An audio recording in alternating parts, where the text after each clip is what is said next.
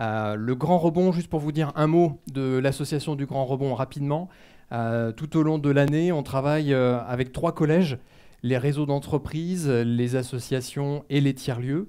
Et on a deux dimensions. Une dimension plutôt euh, sensibilisation, partage de, bonnes pratiques avec euh, un observatoire, des émissions, de tables rondes, événements. Donc le but, c'est surtout de mettre en avant euh, les, acteurs du changement. Et puis également des projets impact au nombre de quatre. On travaille sur la solidarité, la prévention santé, sur le rapport aux médias. Euh, et puis euh, également sur la biodiversité. Et pour ce faire, c'est en transversalité avec euh, justement les trois univers qu'on cherche à travailler ensemble. Et ça va être justement le, le, thème un petit peu de notre table ronde, puisque autour de la table, on retrouve les, trois, les trois dimensions.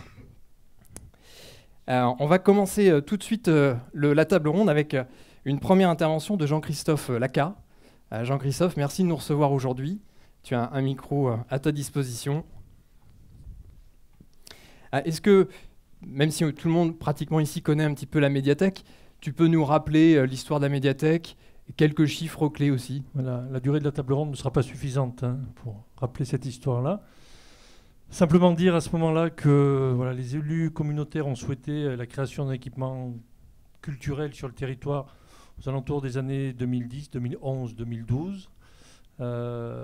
cinq années de construction, de fouilles archéologiques, de travail avec les citoyens pour une ouverture en juin 2017 euh, d'un bâtiment à vocation donc euh, communautaire installé sur le zoo, mais avec une volonté aussi pour les élus d'avoir un rayonnement de la lecture publique sur l'ensemble du territoire intercommunal, ce qui signifie un point médiathèque sur les 13 autres communes du territoire. Euh, donc maillage du territoire en matière de lecture publique, intervention sur l'ensemble du territoire pour la circulation des collections et puis du coup des agents complètement dédiés à l'animation du territoire intercommunal.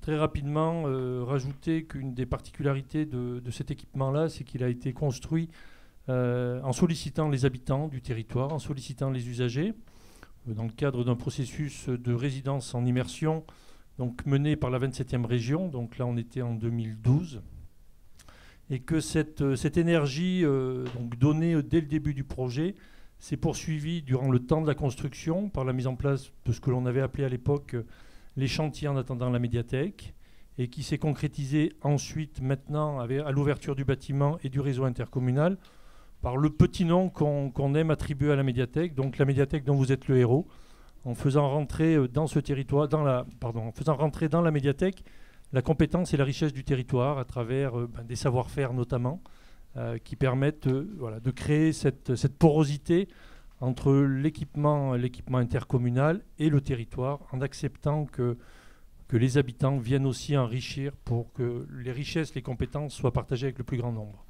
Voilà, très rapidement. Euh, merci. On perçoit bien le, la dimension euh, citoyenne, le lien avec les habitants. les acteurs économiques, et notamment les entreprises, les réseaux d'entreprises, quels sont les liens qui existent euh, Comment ces acteurs euh, aujourd'hui participent euh, ou utilisent l'espace de la médiathèque? Très très peu. Donc il n'y a pas eu véritablement de, de, pont tissé avec, avec les partenaires économiques. Alors il y a des choses qui se passent à l'intérieur de la collectivité. Donc là je pense au travail qui est conduit par, ma collègue, par ma collègue Laetitia donc, sur, le, sur le volet économique, hein, notamment à travers les, les, journées nationales du commerce, par exemple, où effectivement on va solliciter le, local. Euh, concrètement, les entreprises ne participent pas à la vie de, l'équipement. On n'a jamais sollicité les entreprises non plus de, notre côté. Réflexion se fait effectivement sur ces notions euh, d'espace de coworking, donc effectivement qui pourraient être mises à disposition à l'intérieur du bâtiment euh, ben, pour aider de jeunes créateurs et de jeunes entrepreneurs à venir faire leurs premières armes ici. J'ai envie de dire après, pour essayer de répondre davantage à la question, que les premières sollicitations directes aux entrepreneurs locaux ont été faites dans le cadre de la mise en place donc, du programme Fab City autour du skatepark, où euh, ben, le, contact a été pris fortement là, avec deux entreprises locales, donc Wood Co, qui est basée à Brioude, donc sur la commune de Lezou, euh, entreprise de, de, bois, pardon, euh, et qui va travailler donc au prototypage d'un une partie du skatepark. Et puis on travaille aussi avec une entreprise de JOS, donc euh, Procar Recycom dans le cadre, là aussi, du, du Fab City, vu que c'est un projet qui s'inscrit dans une, une dimension écologique, donc où l'habillage et le mobilier extérieur donc, sera fait avec du matériel recyclé, et le matériel recyclé, en l'occurrence, sera le pneu. Euh, et donc, Procar Recycom travaille donc à, la transformation du pneu. tu citais Wood Co, je crois que Jérôme Laveroux est avec nous aujourd'hui peut-être pas arrivé encore, on va peut-être le, voir tout à l'heure. Euh, donc ce lien avec euh, le, monde économique, on comprend qu'il est euh, en, devenir probablement, mais on verra, je pense, dans le tour de table qu'il y a déjà des acteurs économiques qui commencent à, s'emparer de, l'espace.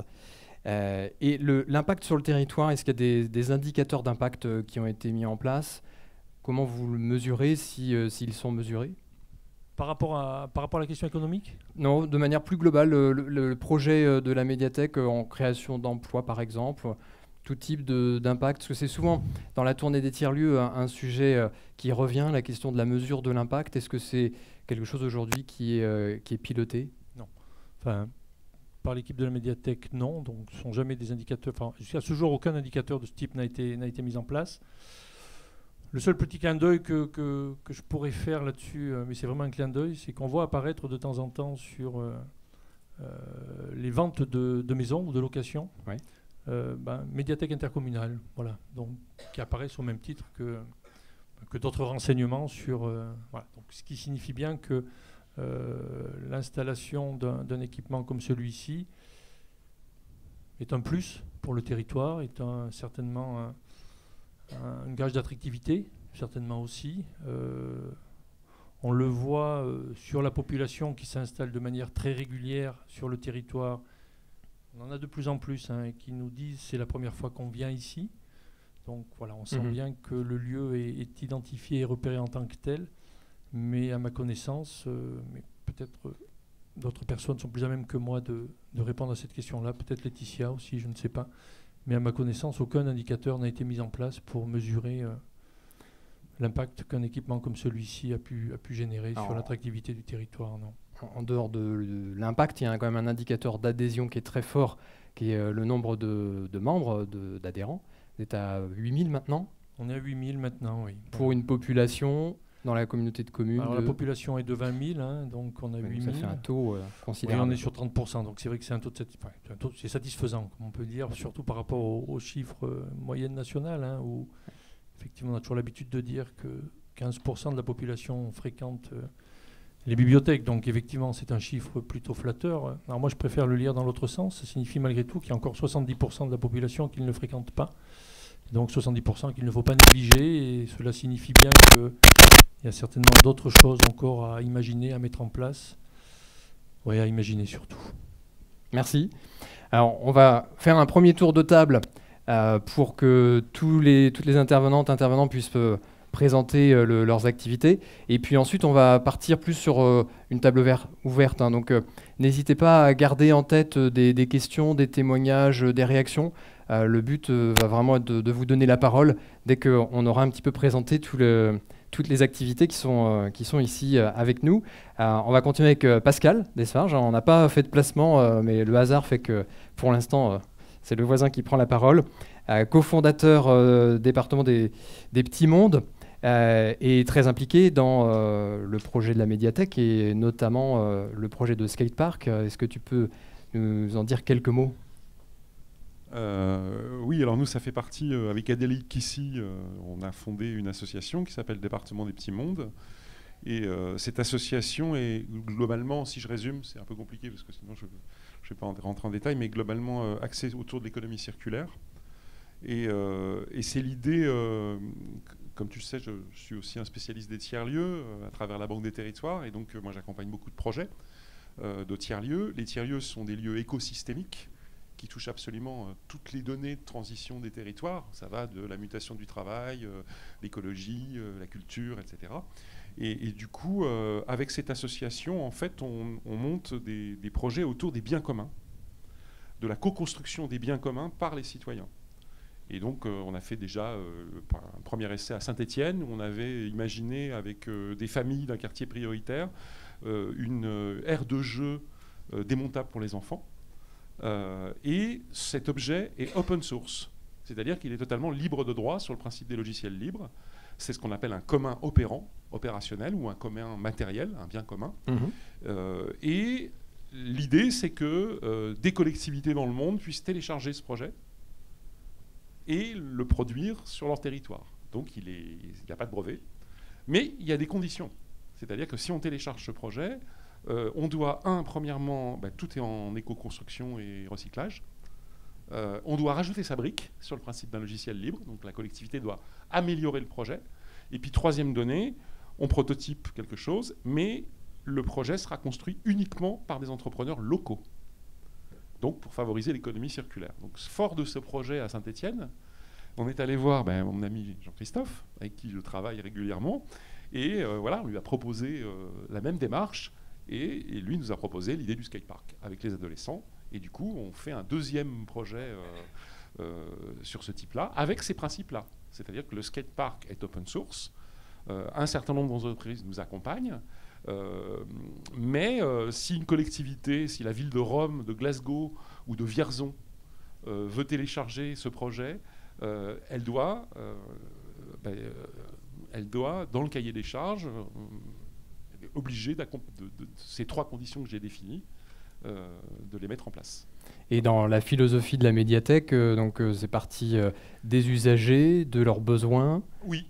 Alors ça, c'était en fait, c'était, on s'appuyait sur cette culture participative. Il le dit pas assez d'ailleurs parce que monsieur est très modeste, mais il a réussi en quelques années. Il a réussi lui et son équipe. Hein, il n'est pas tout seul.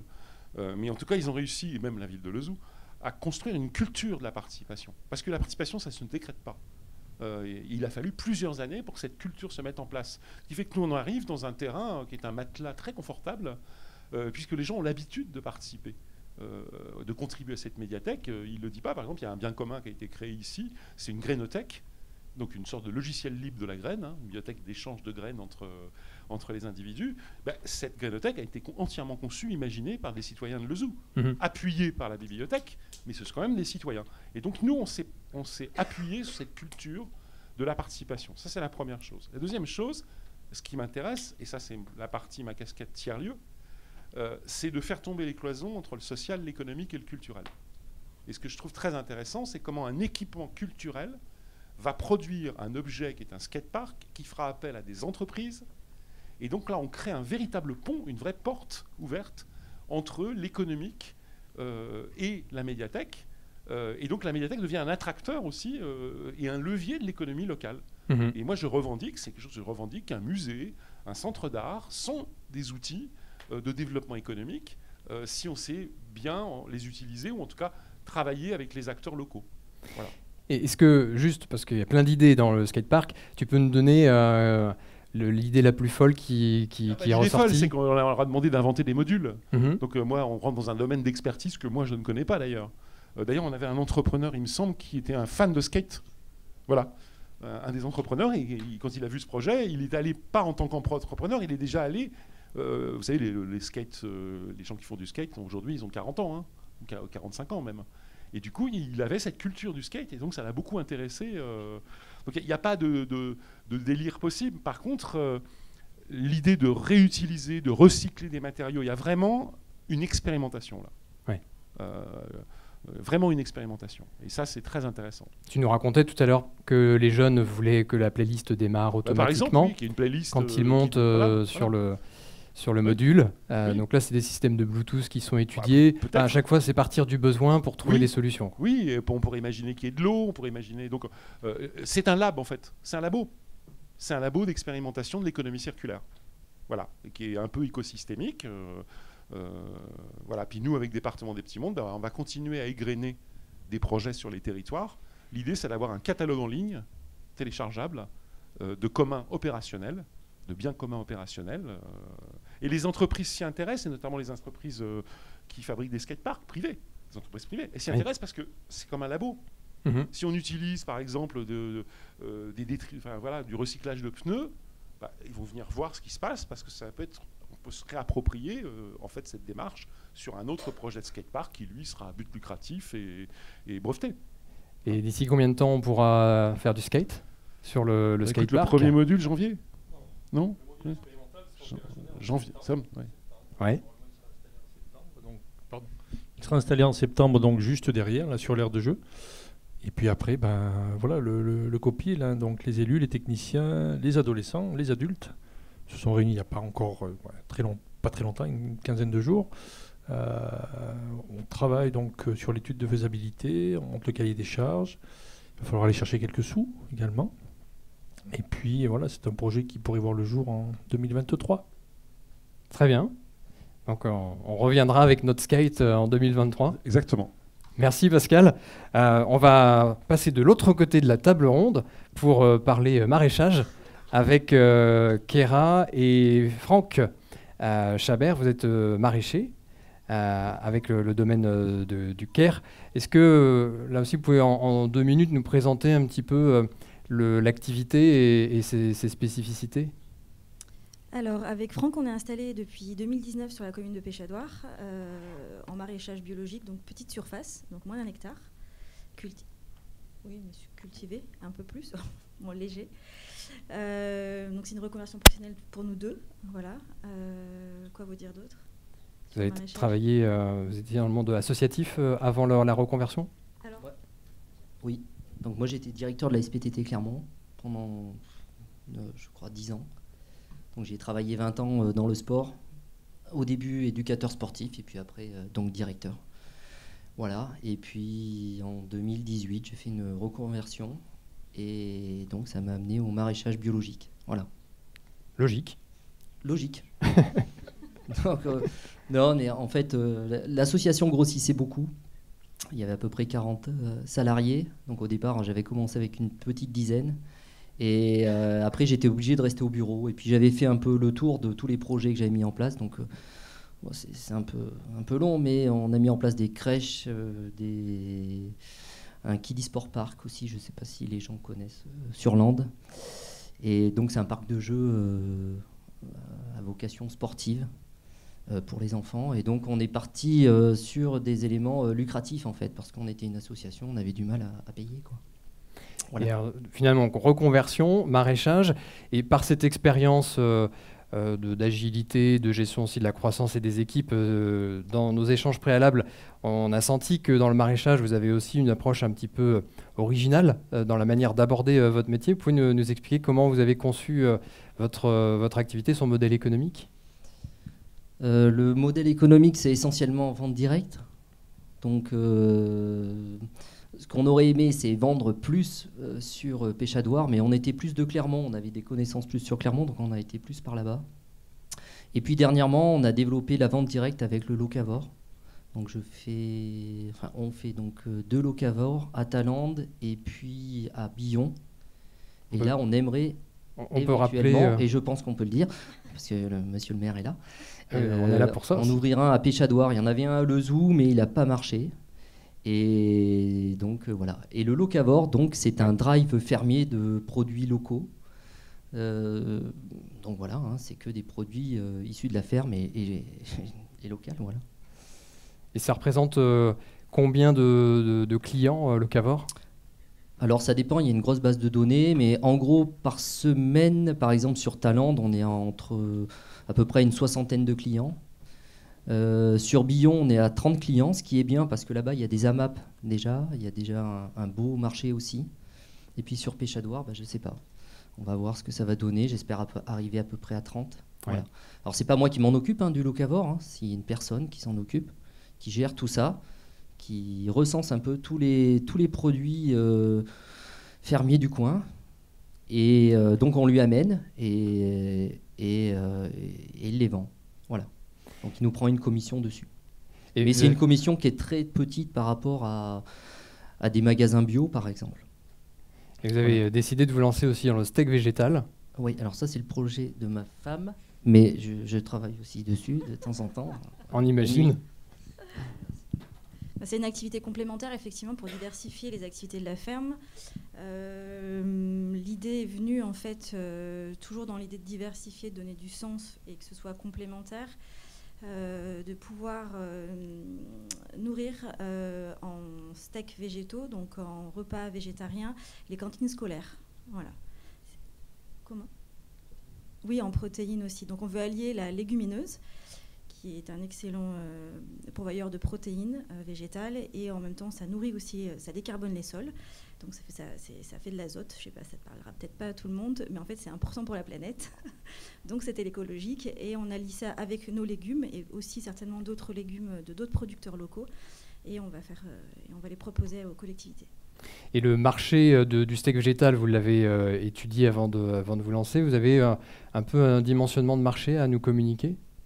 De steak végétal, en fait, ce qui est, c'est que ça se fait pas vraiment encore. Il y a beaucoup, alors c'est beaucoup des industriels qui font ça, qu'on peut retrouver dans la grande distribution, et c'est souvent de la protéine de poids modifiée qui ressemble ou des steaks de soja.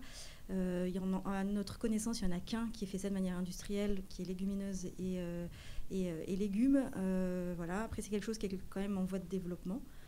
Euh, c'est une bonne alternative pour diversifier les assiettes, en fait, pour alterner viande et protéines végétales. Aujourd'hui, vous produisez combien de steaks par, par semaine, par exemple On ne produit pas encore, en fait. Le la, boîte vient d'être créée, du coup. on est encore sur des travaux et, et, sur la recherche et développement, en fait, sur, sur les goûts et les, les recettes. Et alors, votre ambition euh, au démarrage, vous avez quelques chiffres un peu à nous partager sur euh, le, volume que vous souhaitez euh, rapidement atteindre? Alors, bah, si on, sur du plein régime, ce serait 5 jours par semaine, environ 1000 steaks par jour, mais c'est parce que je me suis compté que moi, en fait, en production. Mais après, en fonction de la demande. Oui, pas en consommation, ça nous rassure. en production, voilà, il n'y a que moi pour l'instant. Après, si ça fonctionne bien et qu'il y a de la demande, on pourra vite développer. Je pense que c'est un, bon problème, le développement.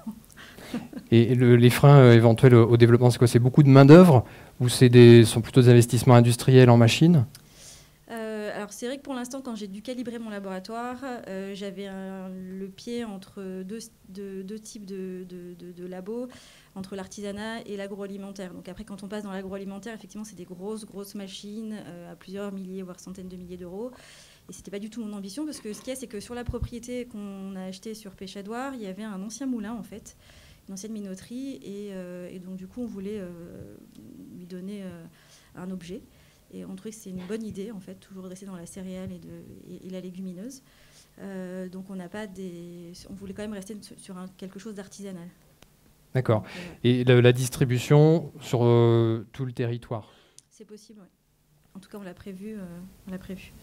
En termes de conservation, le steak végétal, ça nécessite d'être euh, rapidement consommé, j'imagine, après la production? Alors ça dépendra du mode de conservation. Euh, donc soit c'est en frais, et donc du coup euh, ça va être trois semaines dans des barquettes au frais. La même chose que vous pouvez trouver dans les magasins bio ou la grande distribution.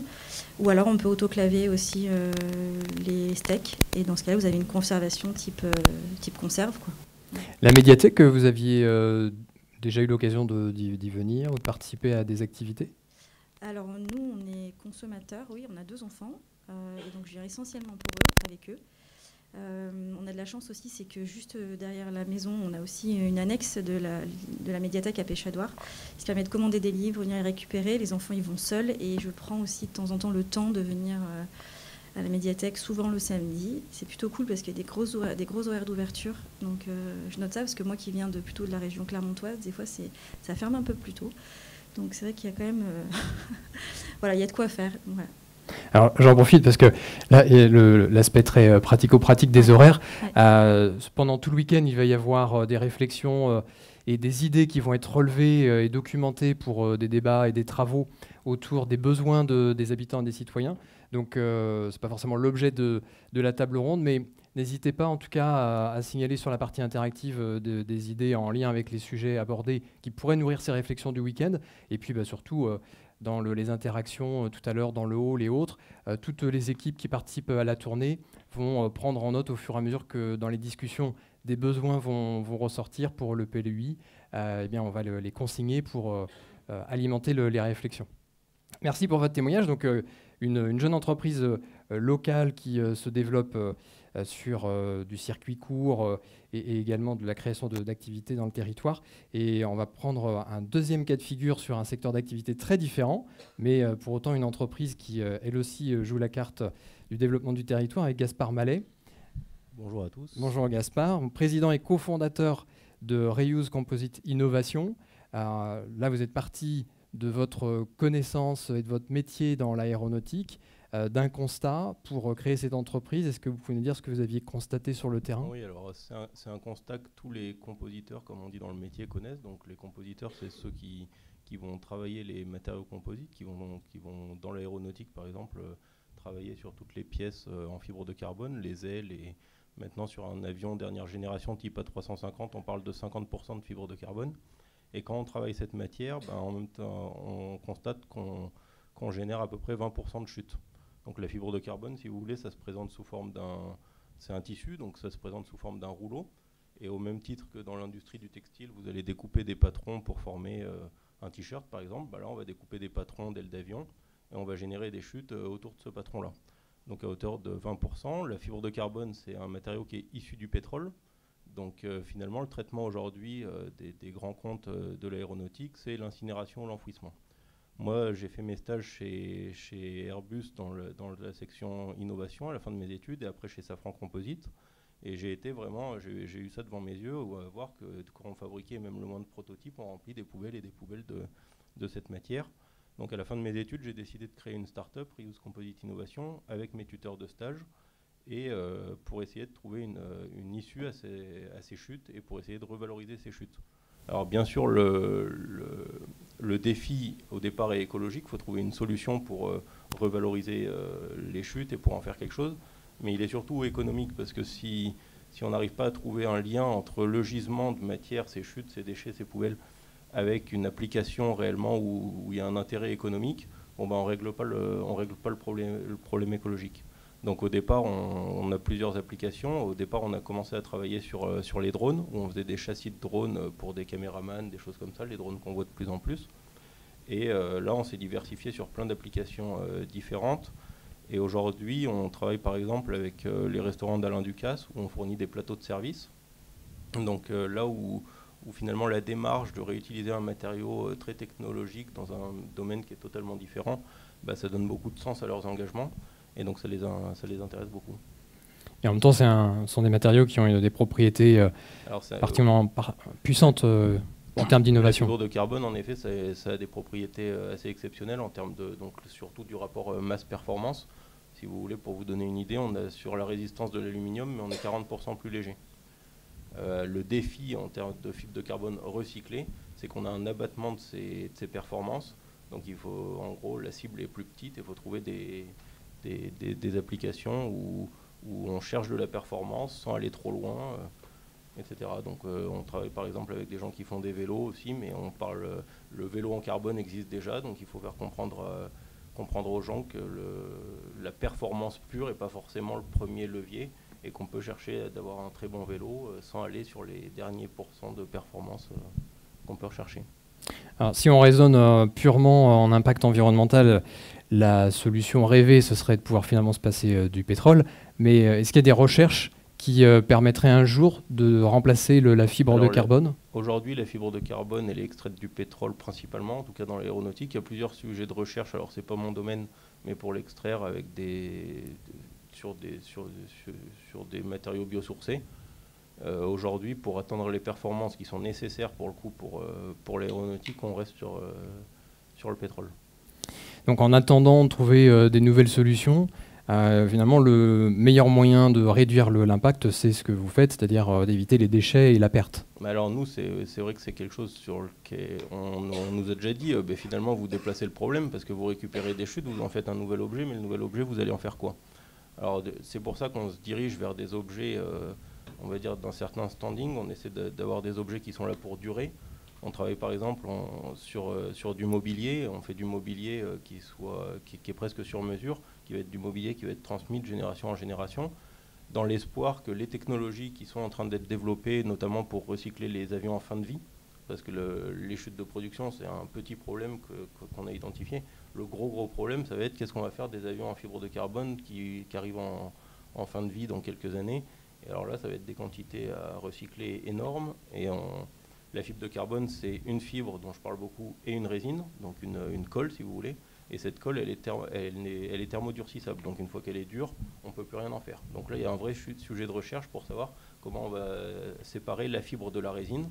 Donc c'est de la thermolyse, c'est de la solvolyse, enfin des choses qui ne sont pas forcément très, très sexy. Et donc nous, on essaie de repousser hein, au maximum les choses pour que la recherche ait le temps de développer ces technologies. Et après, ben, nos meubles, soit ça deviendra des icônes, j'espère, soit ils seront recyclés par des moyens traditionnels qui, seront, qui auront été développés. En tout cas, pour le secteur du luxe, effectivement, le fait le luxe est parfois décrié en termes d'impact euh, environnemental, et là, en l'occurrence, euh, c'est tout le contraire. C'est euh, le fait d'être sur du luxe et donc sur de la, du, bien qui, dure, voire qui se transmet, bah, peut devenir une solution. alors nous, nous, on a créé une marque de design qui s'appelle Utopic Design. Pourquoi on a créé cette marque? Parce que finalement, en fait, quand on parle de recyclage, dès qu'on allume la radio en ce moment, on, entend recyclage, recycler, c'est très bien. Finalement, quand vous arrivez sur le marché, nous au début, on avait un matériau qui nous paraissait euh, évident euh, sur le marché, euh, performant, moins cher, recyclé, tout ce qu'on veut.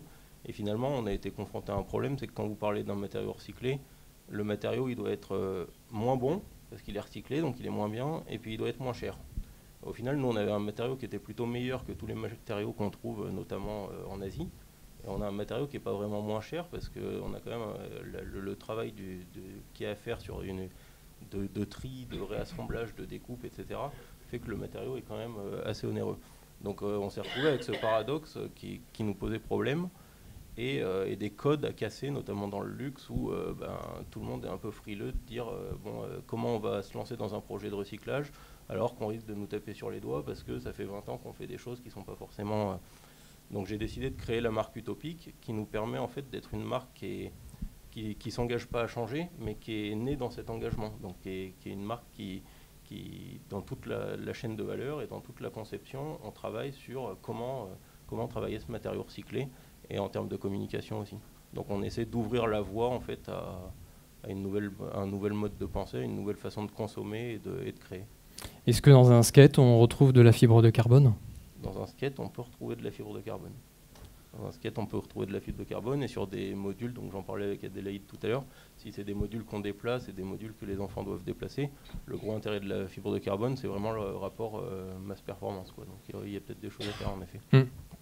Et pour terminer, en, volume euh, de, chute, euh, ça représente quoi le marché? le, le, volume de chute global, c'est 13 000 tonnes. Nous, on s'est concentré sur un, un carbone particulier qu'on appelle le pré-imprégné. C'est un carbone qui a déjà la, la résine, donc la colle dont je parlais, qui est imprégnée, enfin la fibre est imprégnée de résine. Et c'est pour moi le, sujet le plus complexe parce que en fait euh, c'est le, produit le plus polluant. Donc là, si on parle de, ce produit-là en particulier, on parle de 2000 tonnes. Mhm. Et nous, en 2019, sur, les, donc sur trois applications qui est euh, euh, les plateaux de service, les drones, un peu la coutellerie, parce qu'à tiers, on est un peu obligé. Et sinon, je me fais taper sur les doigts. Et le, le c'était quoi le dernier? Et l'ameublement, on était sur euh, une tonne et demie. On avait recyclé une tonne et demie à peu près. déjà un, donc un ratio qui n'est pas, enfin, pas, négligeable pour une activité qui, qui démarre. Merci Gaspard. On va poursuivre avec euh, Patricia Auroy. Alors Patricia, tu as plusieurs casquettes. Donc je vais en choisir que quelques-unes pour te présenter. Euh, tu es associé dans la SCIC, dans la SIC Alliance Sensée Économie. Tu es responsable en recherche et développement euh, dans le programme Microville Durable, euh, cofondatrice associée et directrice de la prospective innovation et évaluation également de, Microville. Mais on se connaît depuis quelques années parce que dans nos parcours professionnels respectifs, euh, on a l'occasion de se croiser souvent. Donc je sais que tu as beaucoup d'autres casquettes que celle-ci. tu as une particularité, c'est que tu connais très bien euh, les écosystèmes euh, de l'intelligence économique, de l'intelligence territoriale et des projets dans un certain nombre de, communautés de communes. Donc euh, là, comme on est sur un terrain que, tu connais, parce que tu, y habites, en tout cas tu y es souvent, on voulait avoir un petit peu ton, analyse du territoire et notamment de la place des tiers-lieux. avec à la fois ton expérience dans le projet de Microville 112 et puis du territoire ici à Lezou. Oui, un territoire, que enfin l'Auvergne que je connais bien puisque j'étais en charge pendant 14 ans de la mission de développement économique euh, jusqu'en 2000. Donc c'est effectivement euh, une, belle région euh, que je connais bien. oui, les, tiers-lieux, c'est d'ailleurs une question, enfin comment on définit un tiers-lieu déjà? Puisque là, il y a eu des démarches de tiers-lieux alors, sur des territoires, mais aussi la démarche de l'État de appel à projet, enfin voilà, qui a poussé à, la création de, tiers-lieux. là, tout devient tiers-lieu en fait à partir du moment où on, met toutes les parties prenantes autour d'une table sur un lieu, des lieux. et, qui vivent. Et, donc voilà, cette notion de tiers-lieu est, devient de plus en plus large et, euh, à questionner. Euh, la, semaine dernière, j'étais avec les localos à Saint-Paterne-Racan, euh, où on a animé des ateliers. Une des premières questions qu'on a posées, c'est qu'est-ce que ça veut dire pour vous un tiers-lieu? Vous voulez faire un tiers-lieu, très bien, qu'est-ce que ça veut dire pour vous? Ça renvoie surtout à ce que, à ce que les gens portent euh, les acteurs d'un territoire portent euh, ce qu'ils veulent en faire. Euh, ça peut être des tiers-lieux culturels, ça peut être économique, économie circulaire. Enfin voilà, il y a, un tas d'entrées possibles pour des tiers-lieux, mais ce qui a d'importance, c'est cette vision écosystémique en fait et, l'implication de toutes les parties prenantes. Et avec Sciences et Économie, euh, autour de Microville 112, euh, vous êtes en train d'élaborer justement un, tiers-lieu un peu particulier, comme je dirais tous les tiers-lieux euh, ont leur spécificité. Tu peux nous en dire quelques mots sur Microville 112 et l'avancement aussi de, ce projet? Alors, en fait, l'Alliance Sens et Économie, Sens et Économie, a donné du sens à l'économie. c'est un, nouveau modèle de, développement dans, dans un panorama en pleine évolution liées aux transitions. Euh, c'est donc euh, une SIC nationale qui euh, vise à mettre en place des SIC foncières sous forme de franchise sociale. Et le premier démonstrateur est la microville 112 à côté de Reims. 65 hectares, une ancienne, l'ancienne base vie de, la, de, la, base aérienne 112, où là on va développer une microville durable euh, avec euh, au sens de la ville euh, du quart d'heure ou du territoire de la demi-heure qui a été lancé, enfin travaillé par, par un chercheur, Carlos Moreno.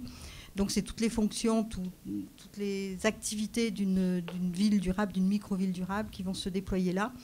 avec la recherche de solutions, donc un travail de, RD constant, la recherche de solutions pour répondre aux objectifs de développement durable. Donc c'est un démonstrateur, un living lab grandeur nature, euh, c'est un tiers-lieu dans la mesure où euh, un Living Lab est un tiers-lieu. Euh, et, également toutes les parties prenantes sont associées puisque dans la, y compris dans la fondation, la, SIC a été créée, la SIC Microville 112 a été créée le 9 décembre chez Notaire à Reims avec le village de Courcy, 1200 habitants, qui a apporté le foncier dans la, SIC et qui en est associé, mais des entrepreneurs, l'association des citoyens. Euh, qui, existe euh, et qui euh, donc est associée, de, cofondatrice et associée de la SIC. Donc on, voit bien que c'est l'ensemble des acteurs qui se retrouvent dans, dans, un véhicule qui est extraordinaire actuellement, qui est la Société coopérative d'intérêt collectif, et qui vise donc à mettre en place ce, ce Living Lab Grandeur Nature, ce tiers-lieu, avec différentes composantes euh, où on va pouvoir retrouver des collectifs, euh, la résilience alimentaire, le culturel, euh, l'habitat intergénérationnel, la formation tout au long de la vie, etc. Donc là, c'est vraiment toutes ces, toutes ces chaînes de valeur qui vont se déployer sur, sur la microville. Et l'enjeu, c'est de, de, déployer ailleurs ce, type de démarche. Et de là, la le lieu est vide pour le moment. Enfin voilà, il y a des bâtiments laissés par l'armée, euh, c'est vide, tout est à faire. Euh, mais l'enjeu, c'est aussi de, montrer qu'à travers des quartiers, des villes habitées, petites villes de, et ça renvoie au programme Petite ville de demain ou autre, il est possible de déployer euh, ce genre de démarche avec l'ensemble des acteurs. Et tu travailles aussi avec le réseau national de l'économie territoriale. quel est le mode opératoire de ce réseau? Alors, moi, je suis vice-présidente, oui, du, RENET, du Réseau national de, l'économie territoriale, qui euh, existe depuis 30 ans. Au départ, c'était le réseau des villes moyennes. C'est devenu euh, le réseau euh, des développeurs économiques, donc des, intercommunalités. c'est là, l'idée, c'est à travers nos rencontres annuelles d'apporter, enfin, c'est vraiment, on a un comité de pilotage, c'est aussi, c'est par et pour les développeurs économiques et c'est de leur apporter dans leur quotidien euh, euh, tout ce qu'on a observé comme évolution euh, des, métiers, etc., et de, des questions qui leur sont posées, l'évolution de, l'économie et en ce moment à travers les, transitions. Et donc, on travaille beaucoup à travers nos rencontres pour leur apporter. Ben, bientôt, on a nos rencontres en septembre, on lance le saunier et, et Cindy va intervenir sur l'économie circulaire. c'est vraiment voilà, d'intervenir sur les sujets clés pour le développeur économique. Et, moi-même, donc, j'anime un groupe de travail sur cette évolution de métier de développeur économique en le questionnant sous l'angle du catalyseur, euh, catalyseur au sens donc, du rameau, euh, le rameau étant euh, une espèce de tank finalement hein, qui réfléchit à ces métiers du développement local, et, mais aussi de, tous ces, de toutes ces, ces, personnes sur les territoires. Qui, elles peuvent être en entreprise, elles peuvent être dans une banque. la banque des, la caisse d'épargne suit avec intérêt le rameau, par exemple. Euh, et, euh, donc de, mettre en avant ce rôle, ce métier, ce rôle de catalyseur sur les territoires, au plus près euh, des, acteurs. Et, et, donc, nous, on questionne ce, métier de, de, développeur économique. Est-ce qu'il est un catalyseur territorial, au sens de la catalyse? Est-ce qu'il est un transitionneur? Là aussi, il y a toute une démarche des transitionneurs sur ce métier, sur le métier du transitionneur, pour le coup. Donc voilà, on, voit l'émergence de tous ces métiers et on se dit, euh, développeur économique, qu'est-ce qu'il est? Il est un transitionneur, il est un catalyseur, comment son métier doit euh, évoluer, savoir-être, savoir-faire, enfin, etc., pour être au, plus proche de l'accompagnement des entreprises, de l'émergence d'activités économiques, du travail y compris maintenant avec des collectifs d'habitants qui peuvent faire émerger des activités économiques qui répondent à des, enjeux de transition sur l'économie circulaire, sur, euh, sur d'autres sujets. Et voilà le, le rôle du, RENET. Euh, merci Patricia. On va justement continuer sur euh, le thème de la création d'emplois et euh, le développement économique avec Michel Di, Mastro. Michel qui est directeur territorial adjoint de Loire-Auvergne à l'ADI, qui est certainement la principale association de microfinance en France. L'ADI, Michel, ça représente combien de collaborateurs et, combien de porteurs de projets accompagnés? L'Association pour le droit à l'initiative économique, c'est ce que veut dire l'ADI, euh, c'est 700 salariés sur tout le territoire national, y compris euh, l'outre-mer, et 1400 bénévoles. On finance chaque année 30 000 euh, entreprises. Notre particularité, c'est justement de proposer du microcrédit, c'est donner accès au financement à tous ceux qui n'ont pas accès à la banque. Et euh, donc, on, peut prêter à des personnes euh, titulaires des minima sociaux ou fichiers Banque de France ou en surendettement. Euh, pour la création d'entreprises, jusqu'à 12 000 euros, puisque c'est encadré par la loi. On est accrédité par la Banque de France pour pouvoir prêter de l'argent. Et on finance également la mobilité pour le retour à l'emploi jusqu'à 5 000 euros. Et précisément, on travaille aussi sur la transition écologique on a un, dispositif qui s'appelle Ma Cyclo Entreprise qui permet de financer des véhicules, euh, donc des vélos euh, électriques, euh, des vélos cargo, des vélos pour les, entrepreneurs qui leur permettent de lâcher leur véhicule thermique pour pouvoir circuler à vélo. Et ça marche plutôt bien dans les grandes villes et on espère le diffuser aussi dans les zones rurales. Et le nombre de porteurs de projets euh, dans la région, plus spécifiquement? En Auvergne, on finance 360 euh, personnes en création d'entreprise et 200 pour la mobilité. Sur quelle euh, période? Sur l'année 2021. 2021. Et aujourd'hui, on est à plus 30% puisqu'on est à 200 créations d'entreprises depuis le début de l'année, en 2022. Donc on a une appétence réelle pour une, la création d'entreprises. Alors la question qu'on se pose évidemment quand on annonce des chiffres importants, d'accompagnement de, nouveaux projets, c'est euh, le taux de succès. Euh, combien de projets euh, arrivent à s'inscrire dans la durée? L'intérêt de l'ADI, c'est qu'on prête de l'argent, mais on accompagne, parce que notre volonté, c'est la pérennisation de l'entreprise. Et aujourd'hui, on est relativement fiers du, score, puisqu'on est à 85% de pérennité à 3 ans. Et ceux qui ont décidé d'arrêter, c'est parce qu'ils ont retrouvé un emploi salarié qui, qui leur convenait certainement mieux que la création d'entreprise. Et le taux de non-recouvrement des crédits Très faible, euh, moins de 5% euh, à 4 ans. Donc euh, on est mieux que la banque, parce que la banque elle est autour de 7% d'un pays sur ses, ses, emprunts, et nous on est à 5%.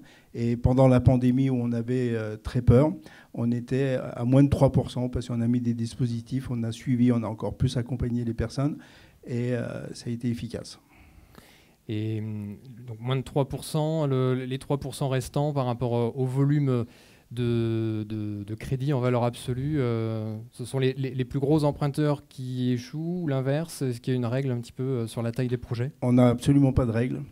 Mais en tout cas, ce n'est pas les, les, personnes les plus défavorisées qui remboursent le plus mal. Bien au contraire. En, taux de crédit, ça représente quoi en moyenne? Ah, le, taux d'emprunt, pardon. Le, le taux d'intérêt. Oui, le taux d'intérêt, oui. Alors, le taux d'intérêt, c'est là où je vais faire crier tout le monde, il est à 7,45, euh, puisqu'on n'a pas le droit de faire concurrence à, la banque, parce que si on faisait du 0%, tout le monde viendrait avec nous. Mais l'avantage de passer par la DI, c'est que tous nos créateurs bénéficient d'une prime régionale, et à chaque fois que quelqu'un nous fait un emprunt, on lui donne sous forme de subvention un tiers du montant emprunté. Quelqu'un qui aurait besoin de 6 000 euros, on va lui prêter que 4 000 euros et on va lui donner 2 000, ce qui va lui coûter 68 centimes par jour en taux d'intérêt. Et puisqu'on on parle de, synergie, de convergence avec la communauté de communes, euh, est-ce que l'ADI a des liens et, si oui, lesquels? Nous avons des liens, nous avons une convention, nous sommes présents euh, sur le territoire et on a financé en 2021 11 créations d'entreprises et 7 personnes pour la mobilité. Est-ce qu'il y a des secteurs d'activité qui sont dominants dans les, projets présentés? Non, pas dominant. On a à peu près toute la palette de, créateurs d'entreprises qui passent de, par le bâtiment jusqu'au service. Mais il y a une grosse appétence pour euh, les médecines douces, la médecine parallèle, euh, le maraîchage bio. Euh, c'est quelque chose qui est dans la tendance du le, jour. Le niveau de vie des demandeurs, ça, il est de combien? Et puis une fois que l'activité est créée, est-ce que ça leur permet de mieux vivre également? 58% de nos clients euh, sont sous le seuil de pauvreté. Aujourd'hui, en 2022, le seuil de pauvreté, il est à 1102 euros, donc euh, c'est beaucoup. Et à 3 ans, ils, sont plutôt entre 1500 et 2000 euros de revenus. D'accord. Pour 85%. Euh, Très bien, merci pour, pour tous ces, chiffres et, puis bah, bravo pour le score, surtout de, de succès des projets qui est assez impressionnant. Merci beaucoup. On va poursuivre le table, la table ronde avec euh, Lise euh, Lalanne. Euh, Lise, qui est directrice de la régie territoire des Deux Rives, qui est une, une, association avec 13 permanents, 20 bénévoles, qui travaillent beaucoup sur l'insertion professionnelle. Est-ce que tu peux nous expliquer comment est organisée l'activité de l'association, aussi bien la façon d'accompagner que les différents domaines d'activité couverts? Euh, bonsoir à tous. Euh, donc nous, en effet, ouais, notre association, nous, on est euh, implanté sur un territoire. Et dans un premier temps, en fait, on a cherché, on va dire, des gisements d'activités qui étaient utiles et qui manquaient à ce territoire. Donc on a démarré bah, par une exploitation maraîchère il y a bientôt sept ans maintenant sur Cournon. Et euh, on a développé en fait des activités en lien avec la transition écologique, en lien avec euh, ce, qui était en demande par rapport aux, collectivités, aux entreprises, aux aménageurs. Donc ça nous a permis bah, de développer euh, une activité type des pépinières qui sont labellisées végétal local. Donc en fait, on fait appel, on travaille avec un pépiniériste du Cantal, on achète des toutes petites pousses et puis on les fait grandir sur nos pépinières on est forcément en lien avec les collectivités qui nous mettent à disposition des, euh, parcelles et du foncier. Euh, on travaille euh, bah, aussi avec un des collecteurs de déchets qui est voilà, sur, sur le territoire, qui est le syndicat des bois de l'Aumône, et qui a créé il y a à peine un an un, un, pôle de valorisation des déchets ici sur le Zoo. Donc c'est euh, une infrastructure euh, très innovante pour, euh, sur la région, puisqu'elle permet en fait d'avoir un tri des déchets très important et du coup des, flux de réemploi de ces, de ces déchets avec un gros travail avec des, bah, de la redistribution. Et donc là, on a des équipes du coup qui orientent les usagers et on a en gestion directe également une recyclerie sur ce site.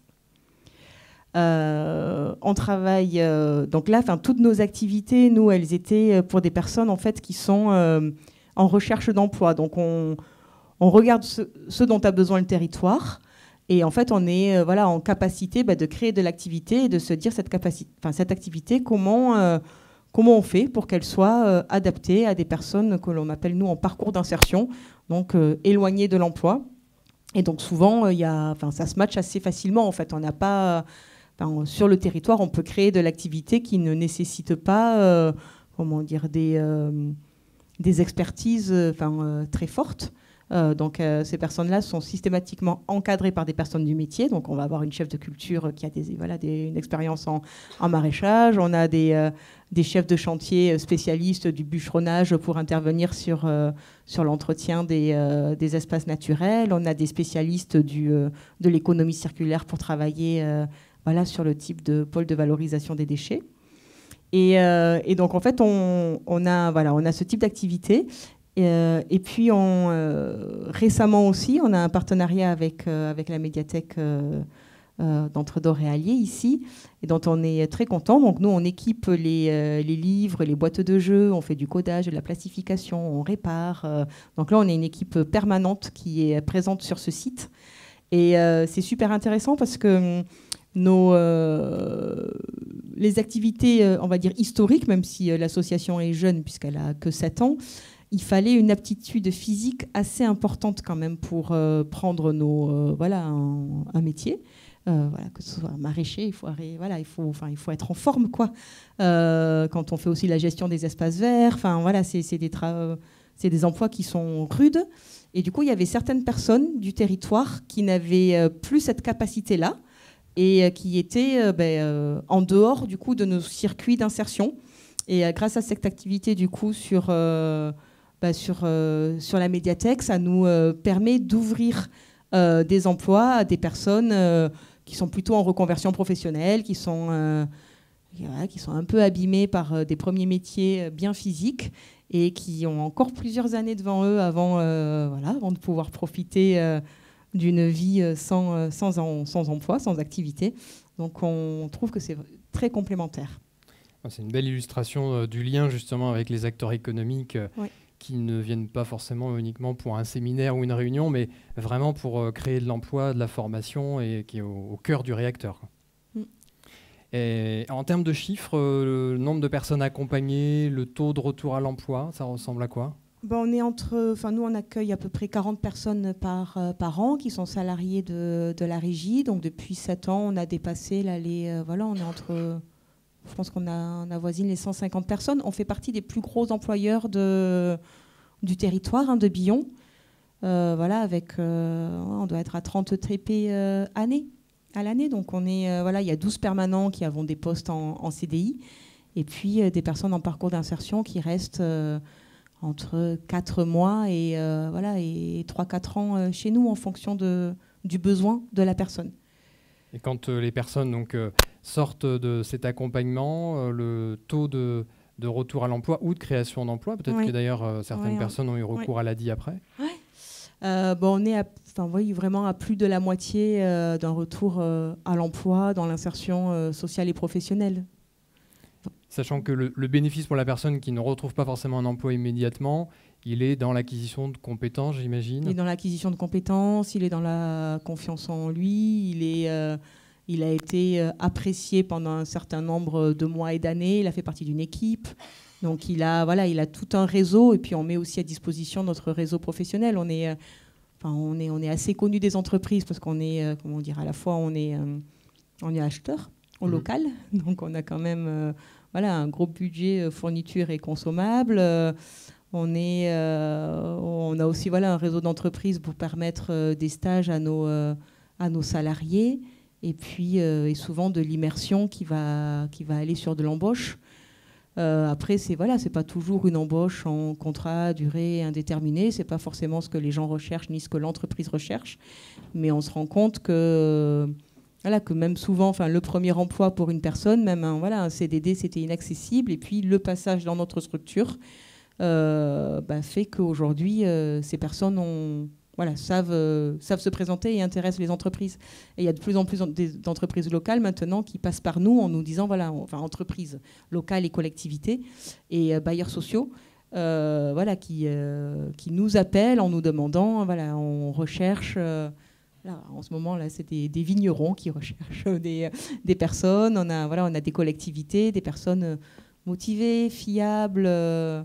Et donc là, c'est vrai que dans, nos équipes, on a, on a ce type de profil. Ben, merci beaucoup pour, pour ce témoignage, Lise. On va poursuivre cette fois-ci en revenant à l'économie circulaire avec l'intervention de Cindy De Rail, qui est chef de projet économie circulaire et ingénieur financière à Maceo. Maceo, en quelques mots, alors Maceo, en quelques mots, c'est une association qui accompagne des acteurs publics ou privés dans leurs projets de développement économique, mais responsable. Et je sais que Maceo travaille euh, régulièrement avec euh, la médiathèque. De quelle manière, euh, comment ça se passe? C'est vrai qu'on a des liens assez étroits, notamment avec la communauté de communes d'Entre-Dor et Allier. et on peut intervenir sur la médiathèque pour des sessions de sensibilisation euh, ou des actions particulières où on peut être contributeur, euh, notamment des actions zéro, euh, commerçants zéro déchet, ou alors comme en, juin 2022, donc prochainement, on organise avec notamment le syndicat du bois de l'Aumône la COP BTP, donc un événement dédié à l'économie circulaire et aux acteurs du bâtiment et des travaux publics. Et comment ça se passe l'accompagnement chez Maceo pour réussir à amener les acteurs économiques à travailler ensemble euh, pour aller vers une chaîne d'économie circulaire Quelles sont les, grandes étapes? Il y en a plusieurs et la toute première, c'est déjà de comprendre ce qu'est l'économie circulaire ou du moins son intérêt, sa définition, parce qu'on en parle beaucoup. Euh, mais à travers cette notion, c'est un concept quand même assez flou. À travers économie circulaire, on a deux mots. On a le mot économie et on a le mot circularité. Donc l'économie, c'est un système économique. La circularité, c'est de faire lien euh, avec les acteurs d'un territoire bien défini. Euh, l'économie circulaire, euh, son intérêt, c'est comprendre. Donc, euh, tout à l'heure, je disais, les hommes préhistoriques, ils étaient confrontés à un triple défi. Euh, le défi de manger, euh, de se réchauffer et de pouvoir se déplacer. Qu'est-ce qu'ils ont fait? Ils ont innové, ils ont inventé le feu. Nous, aujourd'hui, notre triple défi, il est économique, il est social et il est environnemental. Et euh, pour arriver à ce triple défi et qu'on décloisonne un peu ces trois grandes thématiques, c'est d'aller vers eh ben, vers un monde peut-être un peu plus soutenable et d'apporter peut-être un peu plus de sens. On parle beaucoup de bon sens paysan, mais c'est peut-être le retrouver dans toutes nos actions. Et pour ça, c'est repenser nos usages. Donc les grandes étapes, c'est euh, de repenser nos usages en amont, euh, pendant et après. Euh, de revoir comment on peut être un meilleur manager des ressources. Et quand je parle de ressources, je ne parle pas que de la matière, euh, ni de l'énergie, ni de l'eau. Je parle de la ressource foncière, de la ressource humaine. Euh, donc tout ce qui fait un territoire, qui le constitue. comment vraiment mieux le gérer et le penser, l'optimiser autrement. Et donc les grandes étapes euh, pour ça, et je vais peut-être donner un exemple pour que ce soit un peu plus concret. Euh, bah, l'exemple du tiers-lieu. Aujourd'hui, on est sur une thématique du tiers-lieu. Euh, le tiers-lieu, quand on veut le construire, si on part sur le principe de l'économie circulaire, bah, finalement, quel tiers-lieu on veut aujourd'hui? Quel tiers-lieu on veut concevoir. Donc, par exemple, c'est quels euh, matériaux on va utiliser pour construire ce tiers-lieu. Est-ce que ça va être des matériaux biosourcés? Est-ce que ça va être des matériaux issus du recyclage, du réemploi? Euh, Qu'est-ce que je veux pour ce tiers-lieu Donc là, c'est réfléchir en amont. Avant même de pouvoir le construire, c'est réfléchir à tout ça. Le pendant, bah, c'est quel usage on va en faire de ce tiers-lieu. On sait qu'ils ont tous des spécificités, mais au final, euh, quel usage on va en faire? Comment comment les, personnes vont pratiquer ce lieu. Est-ce que c'est un lieu modulable, c'est-à-dire qu'on va faire appel à ce qu'on appelle l'éco-conception, c'est-à-dire euh, avoir un, lieu à la fois éco-conçu, mais aussi qu'on peut bouger dans le temps. Euh, on peut faire appel à l'économie de la fonctionnalité, c'est-à-dire que plutôt d'acheter des, locaux, enfin un bureau qui est au sein de ce tiers-lieu, bah, c'est peut-être juste louer son temps, et c'est l'idée de l'espace de coworking, c'est louer l'usage, le temps de, de ce lieu-là. Et puis c'est penser aussi à l'après, c'est-à-dire qu'on est aussi dans des mondes en mutation, qui bougent, en évolution perpétuelle. Et euh, qui dit évolution euh, des territoires dit aussi évolution euh, de l'urbain, du paysager. Et donc on peut penser à la déconstruction, c'est-à-dire qu'est-ce qu'on va faire de ces matériaux une fois qu'on a déconstruit ce tiers-lieu, ou au contraire, quel lieu on pourra en faire si on veut le réhabiliter ou lui donner un nouvel usage? Donc voilà, l'économie circulaire, c'est ça, c'est vraiment repenser nos usages pendant, avant, pendant et après. Et combien d'acteurs sont accompagnés aujourd'hui? Alors, euh, Maceo a accompagné de nombreux acteurs, euh, majoritairement des collectivités publiques, euh, parce qu'on voit que l'économie circulaire, c'est un sujet montant, qui a un besoin de, monter en compétence sur ces sujets-là, de s'approprier ce nouveau système économique, et ne pas parler que du déchet, hein, parce qu'on associe beaucoup l'économie circulaire au recyclage, au réemploi. mais non, en fait, c'est se dire, c'est de ne pas créer un, nouveau déchet. Au final, c'est de savoir utiliser déjà les matières qui sont déjà présentes ou qui sont des rebuts de production, comme on a pu le voir tout à l'heure. Donc on a à peu près une centaine d'acteurs qui peuvent être accompagnés chaque année sur ces sujets. Quand il y a des ateliers à la médiathèque, c'est à peu près quel profil d'entreprises de, qui viennent participer par justement envie d'apprendre de ces nouveaux schémas? Tout dépend de, l'événement. L'année dernière aussi, on avait fait la première édition de la COP BTP, euh, par exemple, euh, au sein de la médiathèque. Euh, là, on avait un profil notamment soit de créateurs d'entreprises euh, qui viennent se renseigner euh, sur des méthodes innovantes ou sur des nouvelles façons de concevoir ou des nouvelles façons d'envisager son business model. Des structures de l'ESS euh, qui sont quand même des structures assez importantes qui peuvent être le maillon de la chaîne quand on veut conduire un projet d'économie circulaire de A à Z. Et puis ça peut être bien sûr des agents de collectivité, des élus. Tout le monde en fait est, un, est inclus, enfin est acteur et donc est acteur de l'économie circulaire et du monde dans lequel on vit. Donc tout, Très bien. tout profil Merci beaucoup, Cindy. On va maintenant euh, échanger avec euh, Florent Monéron et puis euh, juste après vous donner la parole pour vos, questions, réactions et témoignages. donc, Florent Monéron, vous êtes vice-président de l'économie à la communauté de communes d'Or et Allier. la communauté de communes, donc on l'a compris, porte le projet et en est à l'initiative. quel est le, au quotidien les liens entre la vie euh, qui se passe ici à la médiathèque et euh, la communauté de communes Quelles sont les interactions? Bonjour à tous déjà. Euh, et merci pour cette, cette réunion et cette, première réunion, j'ai envie de dire aujourd'hui pour ce week-end. je vais saluer mes collègues vice-présidents et les personnels de l'Interco, Laetitia Perton, qui est en charge de l'économie au fond de, la salle. Euh, les liens, ils sont, euh, ils sont permanents dans la mesure où euh, l'interco, comme tous les intercos de France, sont jeunes, comparé aux communes. la nôtre date de 98 et finalement, la médiathèque est le premier grand projet d'envergure. Salue Marie-France Marmy également qui a suivi ce, à travers les mandats différents ce projet depuis une bonne dizaine d'années. Euh, et c'est le, premier gros projet d'envergure qui, a vu le jour il y a quelques années. C'est pas très vieux. Euh, et donc, forcément, c'est un peu la vitrine. C'est un petit peu euh, notre façon de faire passer les messages. Avec les points de lecture, ça a été dit, dans les 13 autres communes. Et donc, ça nous permet de diffuser, de par les nombreux adhérents, et par rapport à ce réseau, par rapport à une communication, par rapport à tous les échanges. Donc, c'est pour nous central. Et souvent, ça peut devenir aussi un problème, c'est que par moment, euh, la communauté de communes se résume trop souvent à la seule médiathèque. Donc on essaye aussi de rééquilibrer euh, parfois les choses. Mais pour nous, c'est central, tout à l'heure, on parlait de la question de l'impact. Hein. c'est toujours difficile d'avoir des impacts chiffrés. Mais du point de vue de la communauté de communes, les bénéfices pour euh, les habitants, l'écosystème du territoire, Comment vous arrivez à le, percevoir? Est-ce que vous avez des retours réguliers? La, Comment les chiffres, c'est pas, ça fait jamais très bon ménage. Euh, je pense que la politique culturelle euh, dont la médiathèque est le, centre pour nous, c'est un travail à long terme. C'est comment on arrive euh, au quotidien, sur des années, voire des décennies, à apporter à nos citoyens, plus âgés et les plus jeunes, à voir la vie différemment, avec des arguments, avec une réflexion, avec euh, une vue euh, de l'esprit. Et, tout ça euh, ne se quantifie pas depuis 2017, année après année, par, en résumant, et c'est important, un simple nombre d'adhérents. C'est d'apporter à nos concitoyens qui soient issus de nos territoires ou qui vont y arriver ou qui y arrivent en ce moment, d'avoir un, un, esprit développé et qui, un esprit critique. Et ça, euh, c'est euh, à mon sens la, plus belle des choses, mais c'est forcément sur les années qui, passent et avec le temps. Donc c'est, euh, à mon avis, très difficilement quantifiable. Ce qui pourrait être plus quantifiable, c'est ce qu'apporte la médiathèque à l'attractivité du territoire, comment on arrive à attirer des nouvelles populations, pour les entreprises, comment on arrive à, fixer les salariés, le recrutement, qui est un vrai sujet aujourd'hui, c'est valable dans les communes, avec les écoles.